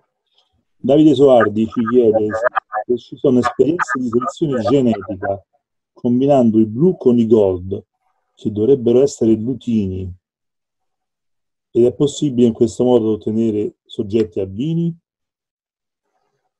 Questo Domanda particolare. molto particolare, cui io non so veramente dare risposta. Spero che Andrea rientri quanto prima in, in collegamento. Non so se Livio ha una competenza specifica. Assolutamente no, no, poi no, perché le selezioni, come dire, ho già, a me personalmente non piacciono tanto e quindi mi autoescludo da questi studi o robe di questo genere. Scusate la mia incompetenza in questo, ma c'è un problema proprio, come dire, caratteriale da Guarda, questo punto di vista. Vedo che abbiamo una certa affinità in materia, perché io stesso a me fa, fa eh, viene in mente una battuta per eh, de- quella del film di Verdone che dicevano famolo strano, invece no, io direi non famolo strano, famolo selvaggio che sicuramente è più divertente, nel senso che tutto ciò che è più wild, almeno per me, ha un fascino particolare, nel senso che è più, più vicino alla natura così come, come è stata, come risultato dell'evoluzione naturale. Sì, poi l'avevo già detto durante la mia chiacchierata, non dobbiamo illuderci di avere in acquario pesci puri, perché nel momento in cui introduciamo i pesci nei nostri acquari andiamo a modificarli. Però almeno io personalmente ho sempre cercato di avere dei- delle forme più vicine perché, come giustamente anche oggi Andrea ci ha ricordato, questi pesci comunicano con i colori, con i cambiamenti. Noi andiamo quindi a questo punto a cambiare tutti questi equilibri. E a noi piacciono i comportamenti, insomma, diciamolo. Sì.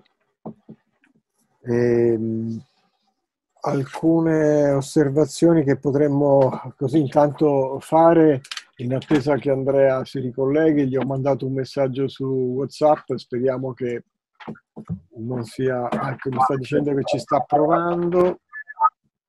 Io avevo una curiosità, volevo sapere le cure parentali quanto duravano, perché mi sono sembrate molto, diciamo, attenti, precise con quei segnali delle pinne e volevo sapere appunto fino a quando venivano seguiti piccoli e poi piano piano lasciati liberi, insomma, senza più grandi attenzioni.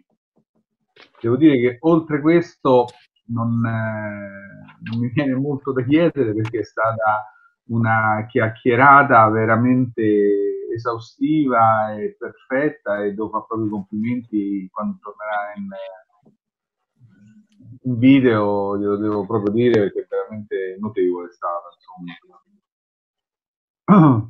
Beh, diciamo che tutte le nostre serate sono di alto livello, questo qua ormai è stato evidente da quando le stiamo da aprile, mi sembra che tutte le nostre serate sono state interessanti, dove c'è sempre modo di imparare qualcosa di nuovo, questo bisogna proprio dirlo secondo me. Bravi relatori tutti. No, no, questo senz'altro, anche l'altra, l'ultima che ho visto, quella delle, della Dancalia, in effetti veramente particolare. Speriamo di continuare.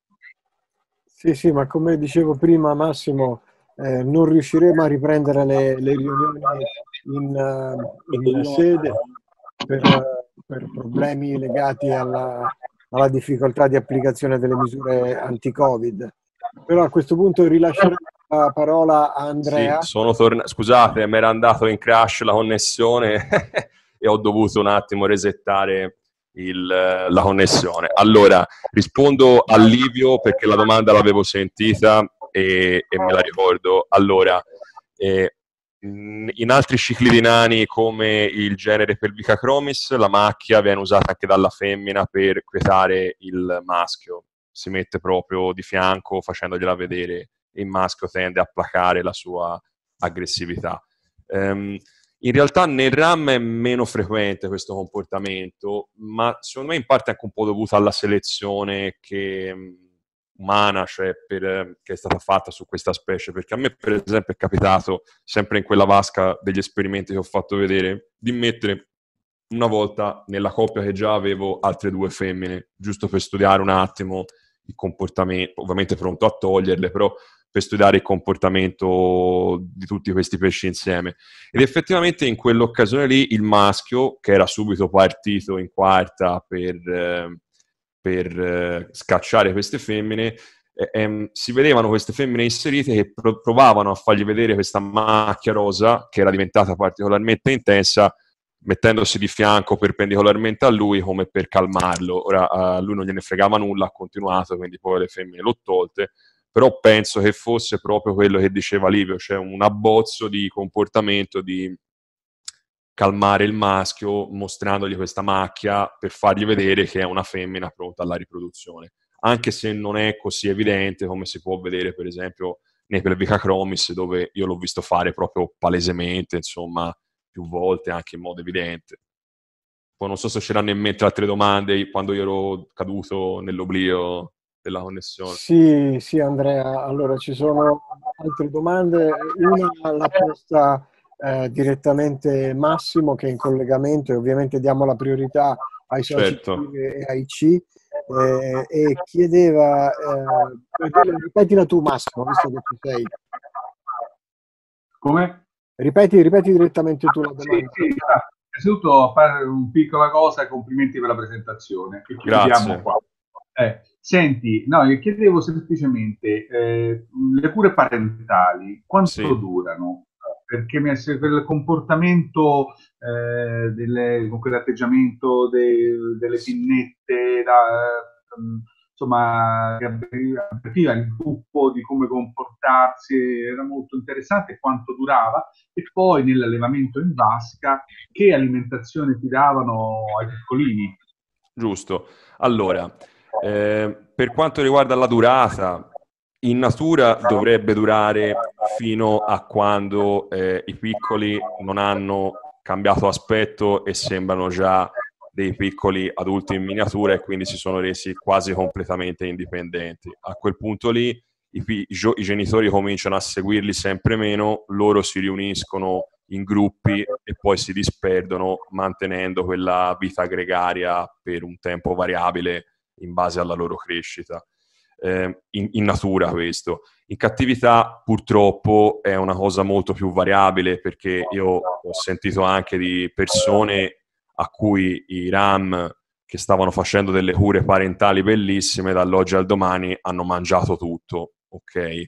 Eh, premettendo che magari non ci siano stati stimoli esterni stressanti che hanno sca- causato questo, questo comportamento, è probabile che sia anche un discorso di genetica modificata dalla nostra selezione, perché in Asia è in Asia no? che riproducono praticamente la maggior parte dei pesci d'acquario, d'acqua dolce. In Asia l'unico scopo è avere i pesci più colorati possibile nel minor tempo possibile. Poi che facciano le cure parentali o meno, a loro gliene frega il giusto perché loro cosa fanno? Levano i genitori, tirano su i piccoli e appena sono di taglia vendibile gli, gli vendono. Non è che stanno tanto dietro all'etologia o a selezionare quelli più bravi nelle cure parentali. Quindi a noi ci arriva un po' di tutto, ci arriva la ciofeca come il grande riproduttore, quindi lì va un po' anche a fortuna. Per quanto riguarda invece il cibo, allora, eh, giovani, i giovani piccoli che hanno appena riassorbito il sacco vitellino si nutrono praticamente di detrito organico e piccolissimi invertebrati presenti nel detrito organico, ma piccolissimi vuol dire invisibili anche ai nostri occhi, ovviamente.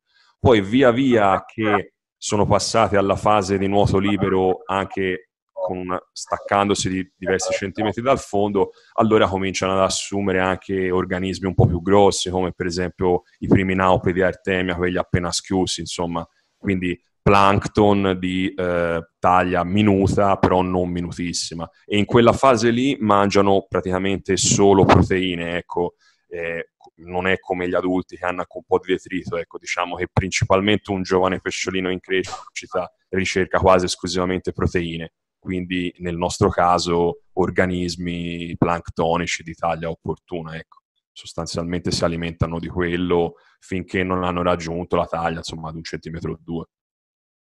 Ok, grazie. Prego. Grazie. E abbiamo altre domande, alcune vengono da, da, Facebook, se non c'è qualcun altro che vuole eh, fare. Io volevo fare una domanda. Vai Mauro. Buonasera, sono Mauro. Salve. Complimenti per eh, Grazie. l'esposizione. Quali sono i pesci bersaglio rassicuranti che possono essere messi in un acquario? E mi interessava anche non solo per, per i ram, ma anche per gli apistogramma cacatuoide, se c'ho una coppia io.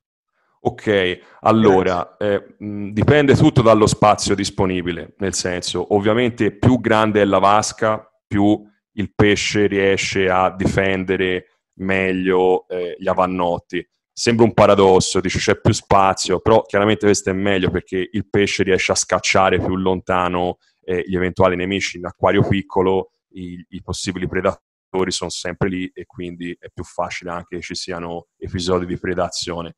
Nel caso del RAM sono pesci, in genere si usano piccoli pesci bentonici vegetariani come gli Otocinclus, che comunque non sono predatori e sono molto pacifici e non sono nemmeno vulnerabili ad eventuali attacchi perché hanno il corpo piuttosto corazzato.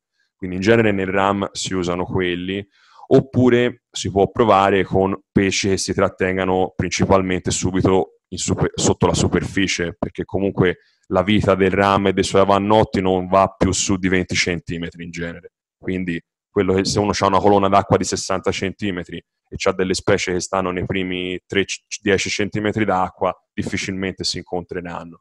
Per quanto riguarda i caracidi, i, i caracidi che sono i pesci bersaglio di solito più usati anche per assicurare i cicli di nani adulti, per gli adulti vanno bene un po' tutti, quelli di piccola taglia, perché comunque eh, i cicli dei nani eh, non vengono attaccati da adulti, da caracidi eh, come neon, cardinali e quant'altro.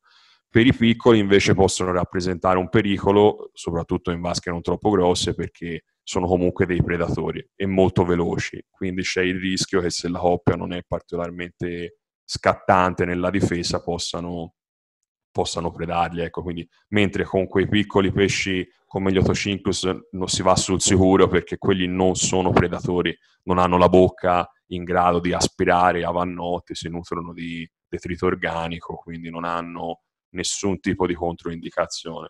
I caracidi magari sono più belli in effetti da vedersi nella vasca, però ecco, a livello di comportamento predatorio sono più pericolosi perché effettivamente possono predare i giovani avannotti, sì.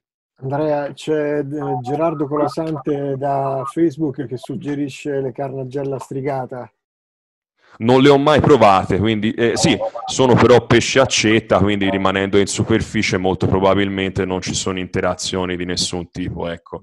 Eh, mentre so di, di, persone che si sono trovate molto male con i pescilidi, perché pur essendo anche quegli pesci teoricamente di superficie, nella realtà poi vanno un po' dove gli pare e sono anche molto voraci e, e pedanti e quindi sono molto, molto pallosi ecco, anche per, per, le cure parentali perché stressano molto anche i riproduttori con quel nuoto attivo e, e molto fastidioso. Abbiamo qualche domanda anche da internet, se non c'è nessun altro che vuole fare domande. Eh, sì, leggo, Leggo l- dalla chat Lorenzo. Lorenzo Nitoglia mi scrive i Corridoras. Ecco, i Corridoras secondo me assolutamente no, per due motivi. Eh, non ci sono, beh, un motivo biologico è che non, non ci sono nel biotopo del Ramirez, vabbè, questo è un discorso più una finezza. E poi perché i Corridoras sono bentonici ma anche predatori, cioè loro mangiano anche le uova soprattutto di notte, perché comunque essendo pesci gatto crepuscolari e anche notturni, proprio quando i genitori sono più distratti perché fa più buio, eh, possono predare le uova. Proprio per quello si consiglia di mettere, eh, non l'avevo detto nella presentazione, eventualmente una piccola luce lunare in modo tale che eh, i genitori possano sorvegliare le uova. Ma con un corridoras, io mi metto un corridoras Eneus, un corridoras Sterby adulto, eh, de, a, del RAM non gliene frega nulla, questo parte, va, mangia e se ne va contento, ecco perché non, difficilmente riescono a scacciare pesci gatto così robusti e comunque abbastanza aggressivi, quindi io gli sconsiglio, secondo me è meglio evitare. Eh, Davide Isoardi da Facebook voleva sapere se c'erano state delle esperienze di selezione genetica combinando i blu con i gold eh, per pot- ottenere eventuali soggetti albini, visto che i gold dovrebbero essere eh, comunque eh, di matrice bianca, eh, albina, cioè avere una, una, una, matrice bianca. Allora, mh, mm, metto le mani avanti, non lo so, ok? Non lo so per un semplice motivo, non, non mi interesso eh, a livello personale e anche professionale di selezioni di questo tipo, cioè io mh, ho quasi sempre allevato pesci in forma naturale e non ho mai preso in considerazione selezioni, eh, né ho mai fatto io tentativi di selezione, quindi onestamente non lo so, ecco, non so rispondere a, alla domanda, ecco. Poi... Non ho, io non ho trovato in letteratura nessun documento che spieghi questo, quindi la, in ricerca scientifica non è mai stato fatto. Poi se ci sono stati esperimenti acquariofili non lo so, ecco, non mi sono mai informato. Ecco, vedo... Posso chiedere una cosa, Andrea? Ah sì, scusa, stavo sì. cercando di leggere proprio la tua domanda. Vai. Eh sì, perché finalmente ho, ho, settato meglio il microfono. No, volevo chiederti una cosa, Andrea. Intanto grazie per la, per la presentazione. Veramente è stata molto esaustiva, esauriente, bella.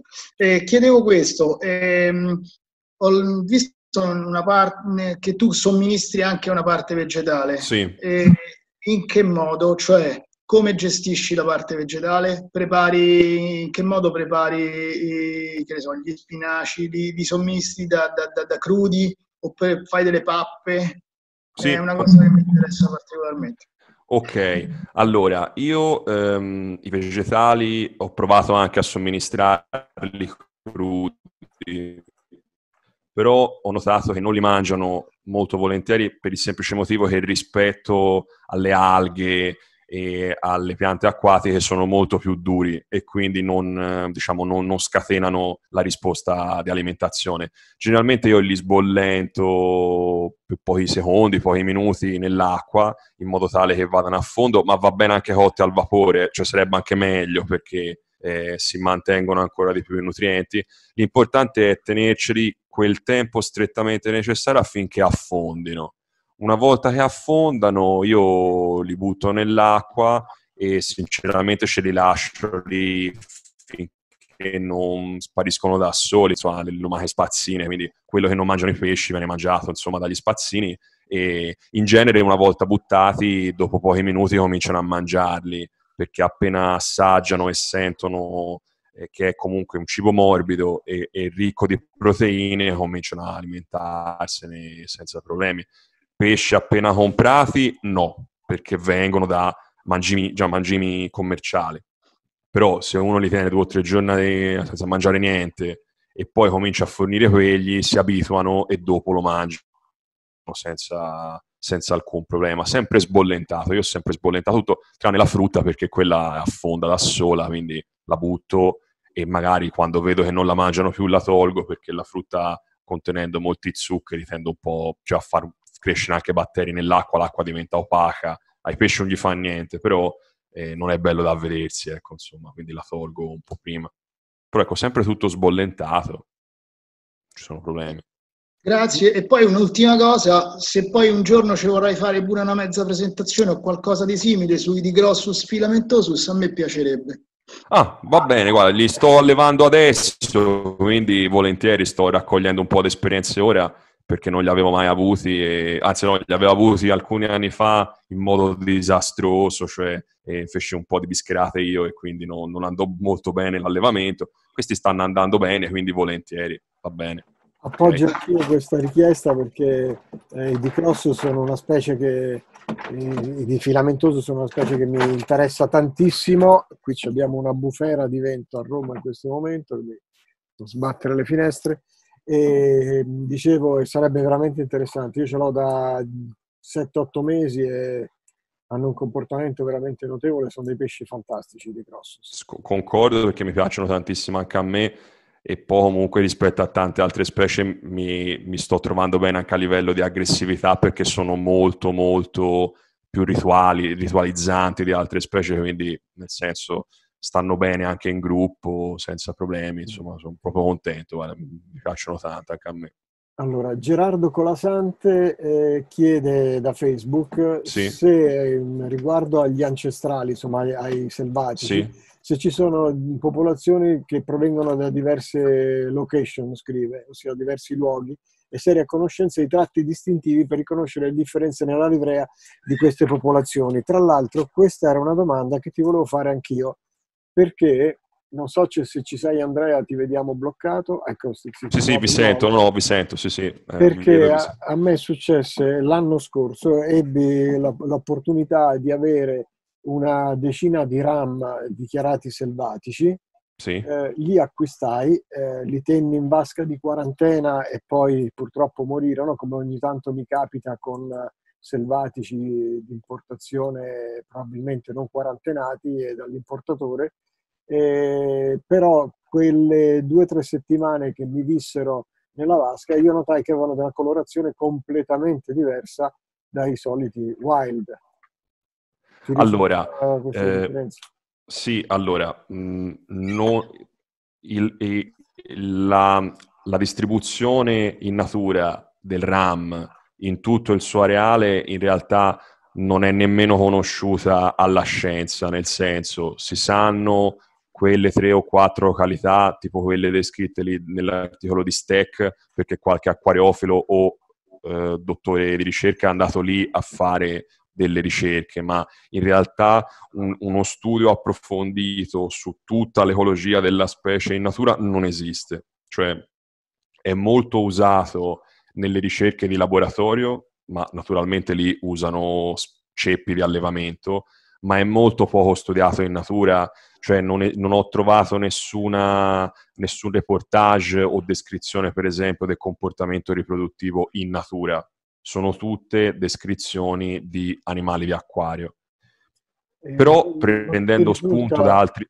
Come? Scusa, non ti risulta eventualmente Ivan Mikolji che so, eh, si conosce insomma, per le sue Sì. esperienze sul campo, ha fatto delle riprese molto interessanti in natura dei, dei ramirezzi anche. Non, non Le, le ho viste le riprese, però non mi sembra che siano pesci, perlomeno i filmati che ho visto io, erano coppie, ma coppie di passaggio, ecco, non è che erano coppie con piccoli o coppie in, in atteggiamento di deposizione, quindi è molto poco studiato. Però vista l'estensione dell'areale, che è veramente notevole, io do per scontato, anzi dico sicuramente esistono differenti popolazioni con differenti colorazioni ne- i tre pesci, per esempio, dell'articolo di Stack vengono da tre biotopi diversi e erano già abbastanza differenti tra loro. Quindi sicuramente se uno si divertisse, and- ora in, Venezuela non ci si può un momento più andare, per la se- eh, però se uno potesse andare in Venezuela e fare un tour degli Llanos, sicuramente documenterebbe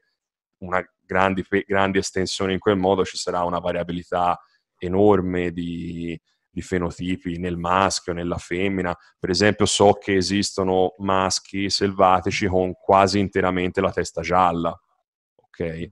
Cosa che non è sempre vera per gli esemplari di allevamento. Ce ne sono altri con la testa più scura. Sono tutte quelle piccole differenze, sicuramente locali, però che, che non sono ancora state descritte dalla scienza, anche perché andare in Venezuela ora è praticamente impossibile, quindi chissà quando potremmo studiarli, ecco. Non saprei. C'è un'altra domanda da internet di Alessandro Crudo eh, che chiede che dato che il maschio sceglie la femmina, chiede se conviene spostare il maschio eh, in acquario, penso in un altro acquario, per evitare che, evitare che territorializzi troppo l'ambiente e magari non rifiuti la femmina. Non capisco tanto la domanda, per la verità. Eh, cioè- No, ehm, non, non ho capito molto bene anche- neanche io, però allora, Forse il senso dice come conviene comportarsi per far formare più facilmente una coppia. allora, eh, ok, ehm, è una bella domanda, nel senso, allora, in un acquario grande, generalmente, io un acquario grande dico dai 100 litri in su, ok? Ehm, anche se c'è un maschio solitario, se uno inserisce una femmina di quelle dominanti, insomma, non la femminina eh, più bruttina ci può essere in negozio, ma una bella femmina con tutti i suoi caratteri a, a posto, è probabile che venga accettata a livello territoriale, cioè ognuno dei due pesci delimiterà il suo territorio e vivranno relativamente tranquilli. Poi a livello di riproduzione è un'incognita perché no, è come in altri tipi di animali, sono loro che si scelgono, non, noi possiamo provare ma non è dato per scontato nulla. Però ecco, togliere, rimettere, togliere, rimettere, ecco, secondo me è comunque stressante e non risolutivo, ecco, alla fine. Se il maschio non accetta la femmina, si toglie la femmina e magari si prova con un'altra femmina, evitando, che, cioè, evit- scegliendo sempre quelle più più, più tipiche, cioè più tipiche dal punto di vista della, della dominanza e della colorazione. È un po' un gioco, un gioco del, come si dice, un po', non un tirassegno, però tipo è un po' un gioco di tentativi, ecco, noi dobbiamo tentare. Sicuramente partire da un gruppo di giovani aiuta, perché lì hai 5, 6, 7 pesci insieme e eh, anche per la legge della probabilità una coppia può formarsi, ecco, insomma sicuramente molto più facilmente che mettendo un maschio e una femmina a caso. Cioè questa cosa di vendere i raminezzi in coppia, secondo me dal punto di vista dell'allevamento ottimale è sbagliatissima, perché andrebbero venduti in gruppo. Cioè magari di taglia un po' più piccola, ma venduti in gruppo. Non è semplice a volte trovarli sufficientemente No, giovani. no, infatti, infatti, infatti. Purtroppo, purtroppo sì.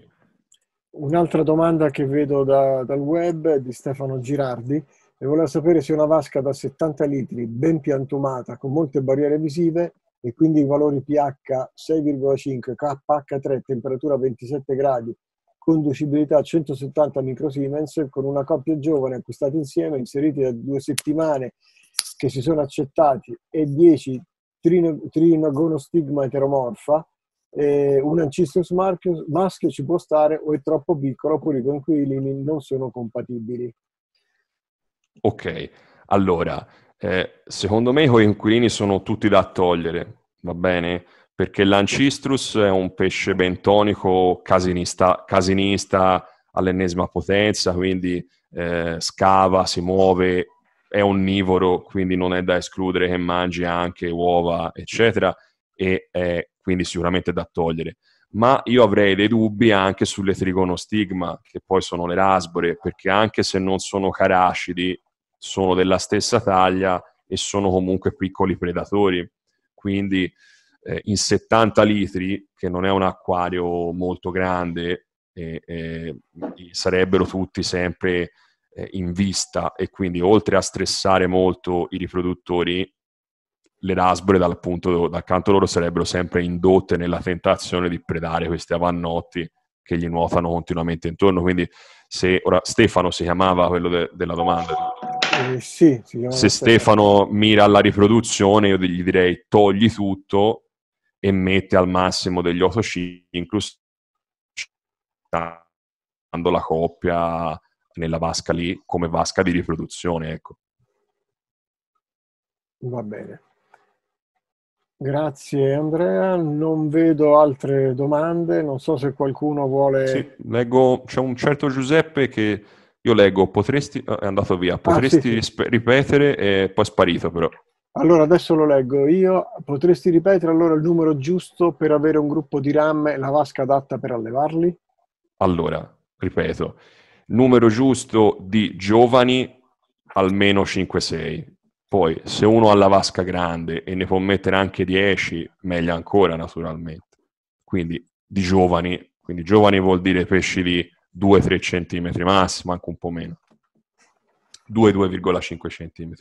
Per gli adulti, la regola, che non è una regola, poi è un ragionamento empirico, è valutare la superficie della propria vasca e vedere se ciascun adulto, introdotto già adulto, ha una superficie di fondo di almeno 40 x 40 a pesce. Cosa vuol dire? Un acquario lungo 80, sono circa 80 litri, così, lungo 80 potrebbe dar luogo a due territori, quindi due adulti. Se è un acquario lungo 1,120 eh, 120 cm, sono tre territori e così via da aumentare. Poi in presenza di individui particolarmente tolleranti, a volte possano stare anche in più animali, però parliamo di ciclidi, sono anche molto animali con una loro individualità, quindi uno può provare, non è detto che abbia successo, però la vasca se è da 100 litri fittamente piantata o con tanti rami o con tanti legni, con tanti nascondigli, uno in 100 litri mette i suoi 5-6 giovani e quasi sicuramente ha una coppia, ecco, insomma, è abbastanza, abbastanza fattibile. Non scenderei sotto i 100 litri, ecco, il ram in 30 litri, come a volte vedo, va bene per la coppia già pronta alla riproduzione, che magari vuoi spostare lì per salvare i piccoli, ma se metti due pesci a caso in 30 litri si ammazzano, sostanzialmente, cioè, è matematico questo, insomma, si, si fanno fuori, non, non si tollerano assolutamente. Eh, colgo io un'altra, ho uno spunto da alcune cose che ho letto e riportato Maurizio Vendramini, perché sappiamo che anche lui è un grandissimo esperto di, certo. di ramirezzi, e che eh, lui consiglia eh, un fondo di sabbia molto fine per, per, i RAM, perché questo consente una maggior pulizia della, della, vasca, impedendo ai sedimenti, insomma, di, alla sporcizia di penetrare all'interno dei sedimenti. Volevo appunto certo. la tua conferma e anche sapere quella che è la, la, il punto critico della pulizia e del, dell'ambiente sano più sì. Allora, eh, sicuramente la sabbia è il, ora è il fondo più adatto, sabbia fine, perché prima di tutto permette all'animale di mettere in pratica quel comportamento di alimentazione che abbiamo visto e che sarebbe impossibile con un ghiaietto di 0,5, mil, 0,5 cm, quindi sabbia fine sicuramente. Inoltre la sabbia fine favorisce ipoteticamente anche lo scavo del nido nel fondo da parte del maschio qualora eh, decidessero di eh, nidificare sul fondo. Quindi senz'altro la sabbia è la scelta preferibile. Anche per la pulizia sicuramente, anche se dal punto di vista della pulizia inteso come accumulo di sostanze organiche in decomposizione, sì, poi la pulizia intesa come senso estetico, tipo in realtà a loro non gliene frega nulla, cioè se il fondo è ricoperto di, di detriti vegetali, rametti rotti, cioè beh, gli va benissimo, ecco, quindi quello è un nostro gusto estetico. Per la anzi, pulizia, anzi meglio, cioè, eh, meglio sarebbe, come sarebbe meglio. tu, eh, ci sono dei micropredatori esatto. di organismi eh, e quindi trovano sicuramente qualcosa, quindi una vasca matura li aiuta. Certo Certo, certo, sicuramente la vasca con il detrito sul fondo va benissimo anche per i piccoli che devono alimentarsi di microorganismi nelle primissime fasi di vita.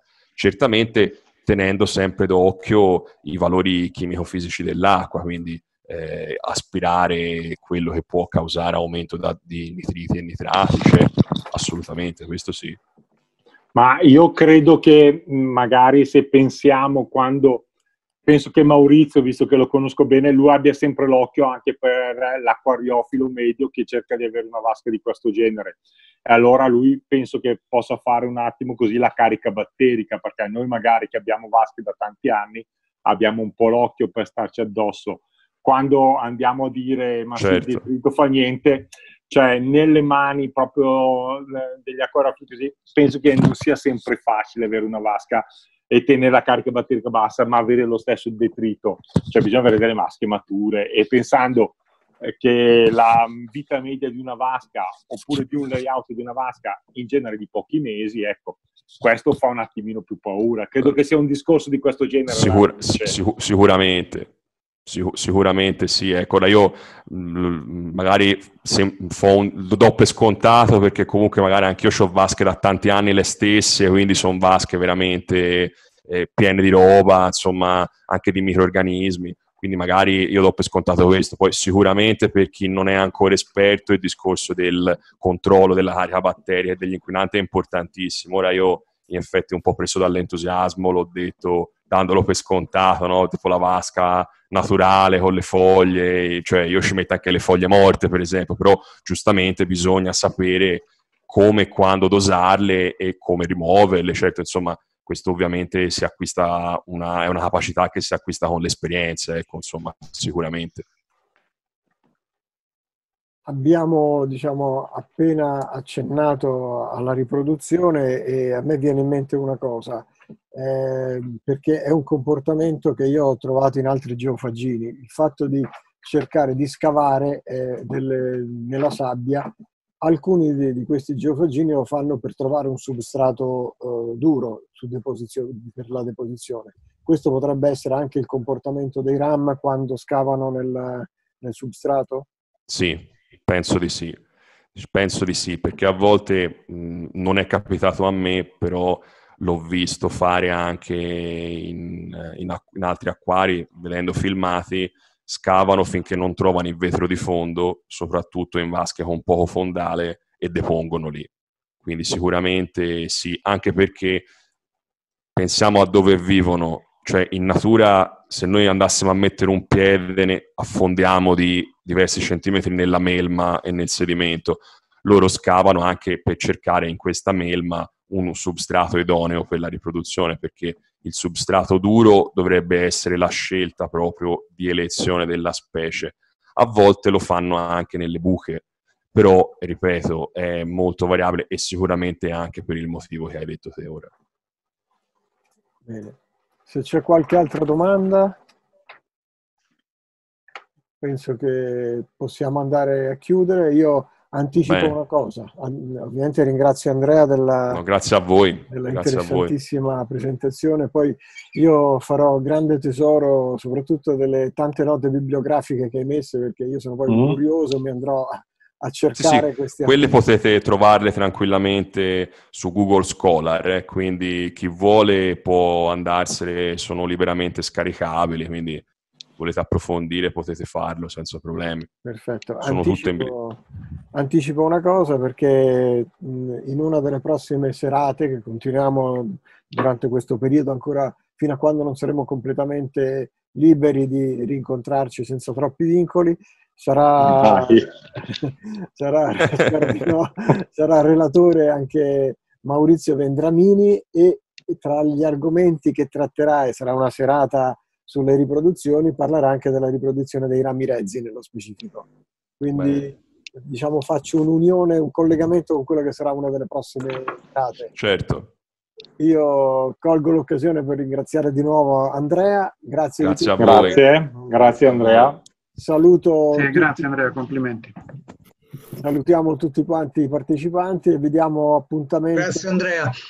Alla prossima Ciao. settimana, ma vi avviso che ci saranno dei piccoli cambiamenti perché avremo eh, diciamo, ospiti, ne parlere, vi avviseremo, quindi salteremo un giovedì per spostarci alla domenica per eh, alcune per necessità di collegamenti in orari consoni con la località geografica del nostro relatore. Quindi grazie a tutti e arrivederci. Ciao. Ciao. Grazie. Ciao. Ciao. Ciao. Grazie, grazie. Ciao. ciao, ciao. ciao.